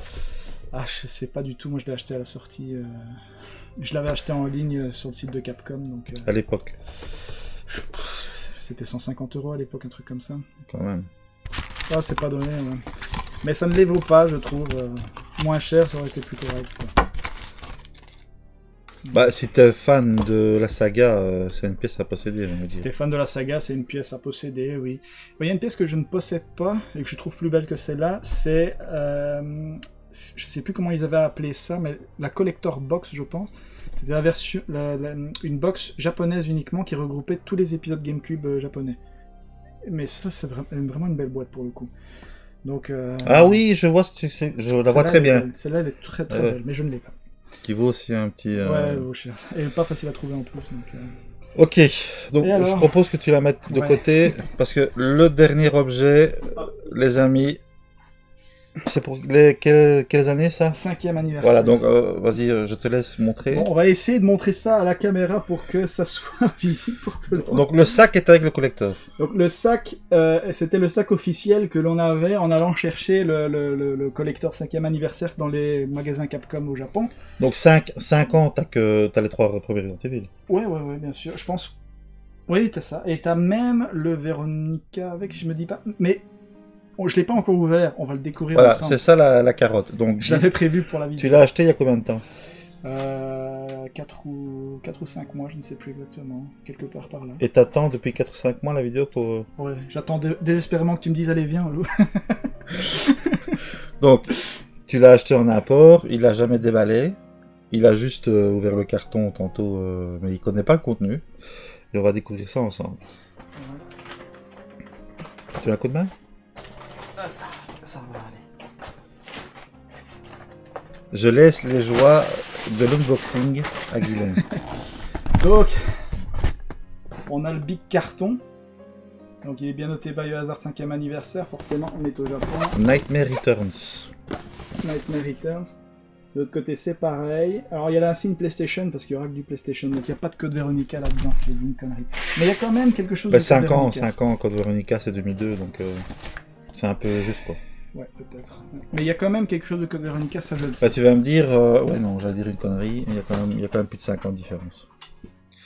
Parce qu'il y a un an de décalage avec la version Jap et, euh, et, et dedans, là, on a quoi? Alors dedans, qu'est-ce qu'on a? On a une valise qu'on va essayer d'ouvrir pour découvrir ce qu'il y a à l'intérieur. Et on va essayer de pas la mettre à l'envers. Elle est vachement belle cette valise. Ouais, elle est pas dégueulasse. Hein. C'est un peu comme la, la valise Hitman, là, tu sais, pour le collecteur. euh, Ça va, elle s'ouvre elle s'ouvre très simplement. Très simplement, Ouais. comme ça, De manière classique. classique. Attends, t'es sûr de ça? Je ne suis pas si sûr. Accordé. Comment ça s'ouvre dans le jeu Ah Ah C'est par là ou dans l'autre sens? On va essayer de pas tout faire tomber. Ouais, c'est par là. Alors montre un peu, tourne là. Donc, on- voilà, c'est une vraie valoche quoi. Il y a des choses dedans. Il y a beaucoup de choses dedans. Elle est assez lourde. C'est bon Ça tient, je pense. hein. Alors tu vas nous montrer un petit peu tout ce qu'elle contient. On va commencer par le haut. Regarde bien comment c'est mis parce Ah, que si, Veronica. hein. Ah oui, t'as raison. Ouais, ouais, ouais. il avait raison. Donc vous avez une- un exemplaire de code Veronica dedans, avec la, la fameuse coupe de Steve qui a été rechangée. Parce que c'est la version PS2. Je pense qu'elle se met dans le sens. On va la mettre comme ça, ça doit être comme ça. Une cover euh, exclusive. Mais tu regardes même pas l'intérieur. Il y a, il y a la démo Ah de, ouais, David May Cry. de Devil May Cry. Donc c'est un peu la version X. Ben, je pense que c'est la version X, oui, oui, oui. Et la sérigraphie, c'est la sérigraphie du collecteur Jap de Code Veronica de Dreamcast. Exact, t'as raison, on peut le remontrer. Hein. C'est un peu la même sérigraphie, j'ai l'impression. Ouais, c'est exactement ça, mais c'est ce qu'il y a au dos de, du costume de Claire, hein, si je me trompe pas. Ouais, c'est ça, on le voit sur la cover. Ouais, c'est ça. Sur sa veste en cuir, là. Qui est une référence à Queen d'ailleurs, tu le sais ça Non. Non, je savais pas ça. Donc très bien. Donc, qu'est-ce qu'on a d'autre? On va essayer de déplacer ça délicatement. Vas-y doucement, ton Ouais, ouais, ouais. Alors, ça, c'est le plus gros truc du collector pour moi. Ça a l'air con. Mais vous avez les rapports de Wesker ici. Alors, Wesker, il faut savoir, je vous l'ai dit, dans le 1, il était censé être mort. Et puis, on l'a plus revu jusqu'au Code Veronica. Il y a eu un sacré temps. C'est vrai. Il a bien fallu faire une- un lien, euh, euh, comment dire, un lien entre les deux et expliquer ce qui s'est passé et quels sont ses plans. Qu'est-ce qu'il a fait, lui? Et qu'est-ce qu'il a fait? Eh ben, tout est expliqué là-dedans, ça dure une vingtaine de minutes, voire plus.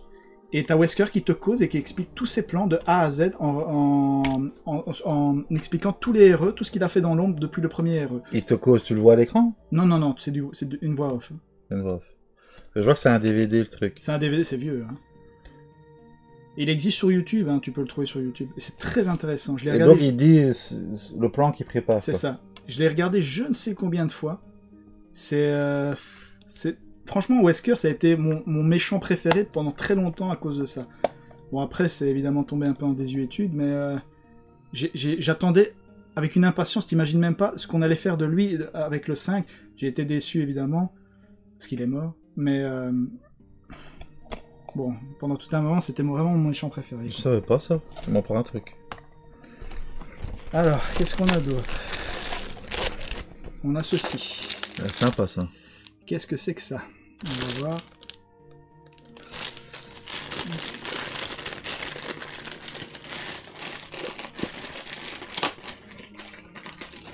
Ça va être guère emballé tout ça. Moi je vous le dis. On sera pas trop de Je deux. vais pas le remballer. Non, depuis. Hop. Ah, c'est une belle boîte, hein. La vache. Ouais. Elle est vraiment belle. Contre, les CD se sont détachés. Ah, mais c'est encore les, les jeux. Il en manque d'ailleurs. Non, ça, ça doit être prévu pour... euh, Pour quelque chose, non? Je ne sais pas. À moins que ce soit pour. Attends. Ah oui, non, c'est ça. Là, tu es free, free. Ouais, free. c'est bon. Pour mettre des autres. Donc on a là l'entièreté de la saga sortie euh, sur PlayStation 1. Donc de nouveau, RE1, le 2 Claire, le 2 Léon et le 3. Plus deux espaces libres, je suppose que c'était pour l'avenir. Bah, c'est mis, hein, c'est mis. Free Disc. Donc, free disc, free, free, free. Ouais, peut-être si tu veux euh, compléter.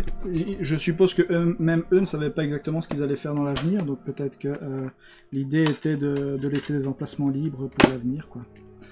Ouais, c'est donc à l'époque, c'était pas décidé que Code Veronica allait être une exclue Dreamcast, par exemple. Bah si, parce que s'il est sorti sur PS2, c'est que c'est après la version Dreamcast, là. En Ouais, plus, t'as les nouveaux vrai. cheveux de Steve, donc c'est sûr que c'est après. C'est vrai. C'est étrange. Je sais pas. On a ici un- une petite euh, banderole publicitaire qui se trouvait dans la boîte.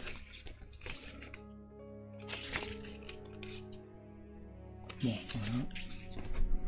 Special package. Ok. Alors, ici, on a sorte de euh, stylo bille assez stylé, on va regarder ça.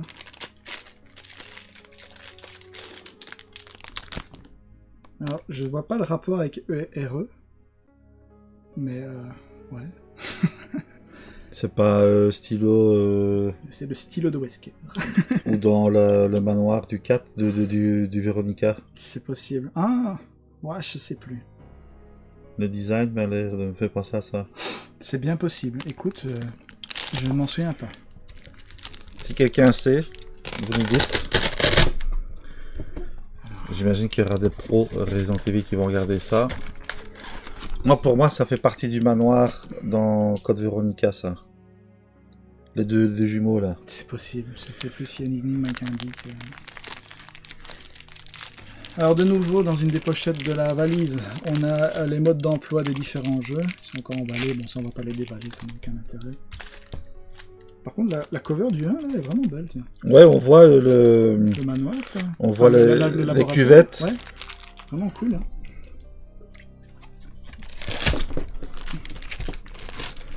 Ouais, Il y a plein de trucs. Alors là, il y a un écusson.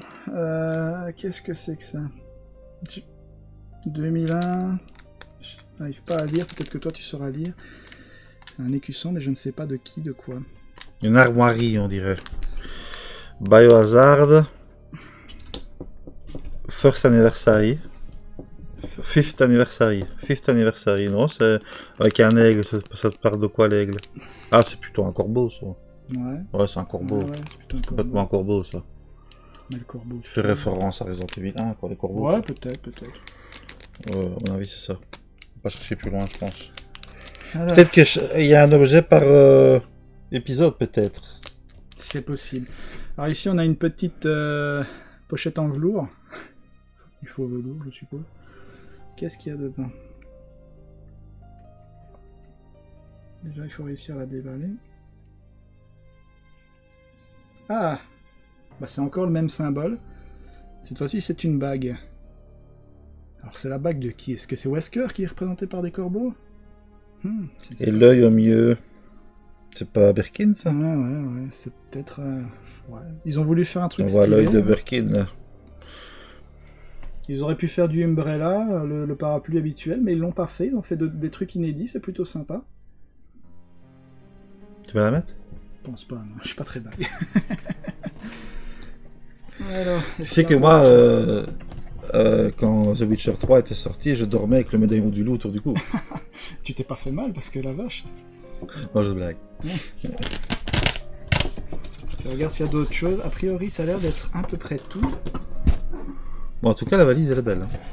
Et on retrouve sur la valise euh, encore de nouveaux symboles. T'as vu? Ah ouais, ouais, ouais, c'est toujours le même symbole. Alors ici, si vous voulez C'est vraiment une vous insérer euh, comme une vraie valise, vous avez une sangle avec les clés. Ah, voilà les clés. les clés de la valise. Mais en fait, c'est une vraie valise, quoi. C'est une vraie C'est une valise. attachée caisse. ok. Je pense que c'est à peu près tout. Hein. Alors, l'attaché caisse dans Resident Evil, on le voit souvent pour les armes. Ouais, ça, ou porter les, les, les échantillons de virus, quoi. les- Mais de cette manière, on n'en voit pas vraiment. Non, c'est bah, c'est plutôt stylé, quoi. Hein. Bon, euh, Plus la valise, vous pouvez pas l'apprécier de là où vous êtes, mais C'est du vrai c'est métal, du quoi. vrai métal. Elle, est- elle est lourde, elle est, elle est vraiment, euh, c'est vraiment stylé, quoi. D'ailleurs, t'as encore le corbeau à l'avant ici, hein. Je sais pas quel est le délire avec euh, cette écusson de corbeau. On peut peut-être le montrer. Oui, oui, on le revoit à chaque fois. Donc il est devant, là, sur la, Devant, la poignée, sur les sur- pochettes. ouais, sur les pochettes. Donc ouais, c'est, c'est... fran- franchement c'est stylé quoi. Par contre, ça vaut méga, méga cher. T'as tout montré là, y a rien Je de. pense, j'ai encore, vérifié. mais- Y a pas, euh... y a pas un virus Donc, T dans- là, tu as la fidélité pour maintenir. Là en dessous, il n'y a rien. Là, il n'y avait rien. Là derrière, il n'y a rien. Dans ces pochettes-là, il n'y a plus rien. Dans ces pochettes, ça sent le 9 de 98. Hein. dirait tout un gosse qui découvre son cadeau. Ça, c'est très bien ça. Non, il n'y a Ouais. plus rien. Donc, Raconte-nous, tu l'as, tu l'as trouvé comment Comment tu l'as chopé? Euh, ben, ça vaut très cher. Et il se trouve que ça vaut un poil moins cher au Japon.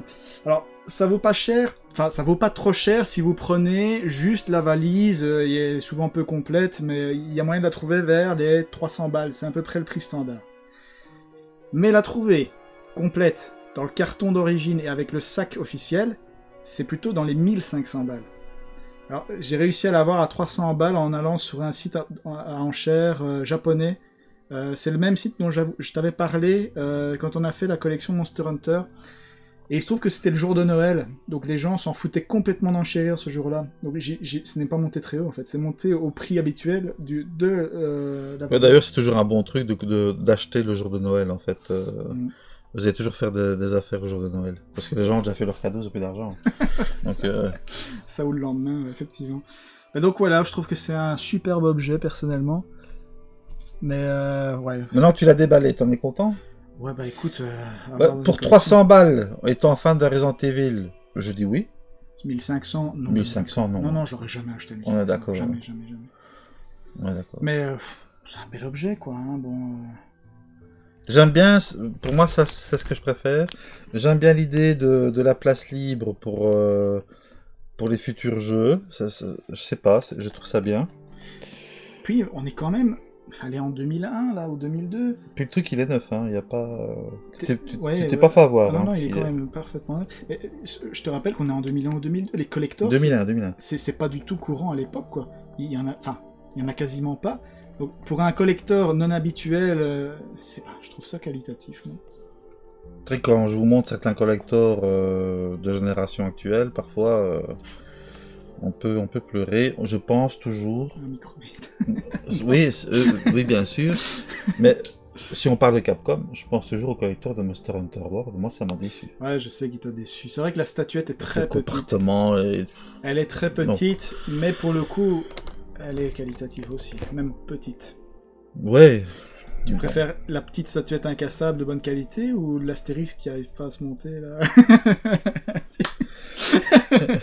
Ok, ceci euh, conclut. euh, Bah écoute, je pense qu'on a tout dit, hein, j'espère avoir tout dit. Euh, bon, c'était pas complètement exhaustif, mais c'était pas le but non plus, donc... euh, On aurait pu montrer d'autres choses, hein, honnêtement, les, gros collectors, etc. Mais euh, dans la voiture, il n'y a plus de place. et puis c'est bon, j'en- j'en- je l'en ai aussi dans la collection, mais bon, c'est des pièces assez récentes. Je pense que vous les connaissez. C'est les statuettes. Je vous ai montré d'ailleurs sur la chaîne. J'ai fait les unboxings, donc on va pas. C'est du réédit.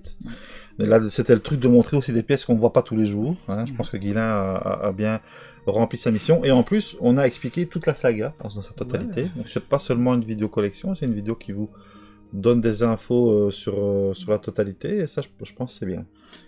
Si je peux rajouter juste un truc, euh, si jamais vous voulez avoir une vidéo bien complète sur les, sur les- différentes ane- anecdotes de la saga et les, les différences entre les versions, Padawan à l'époque il avait fait une bonne vidéo là-dessus et je trouve Exact.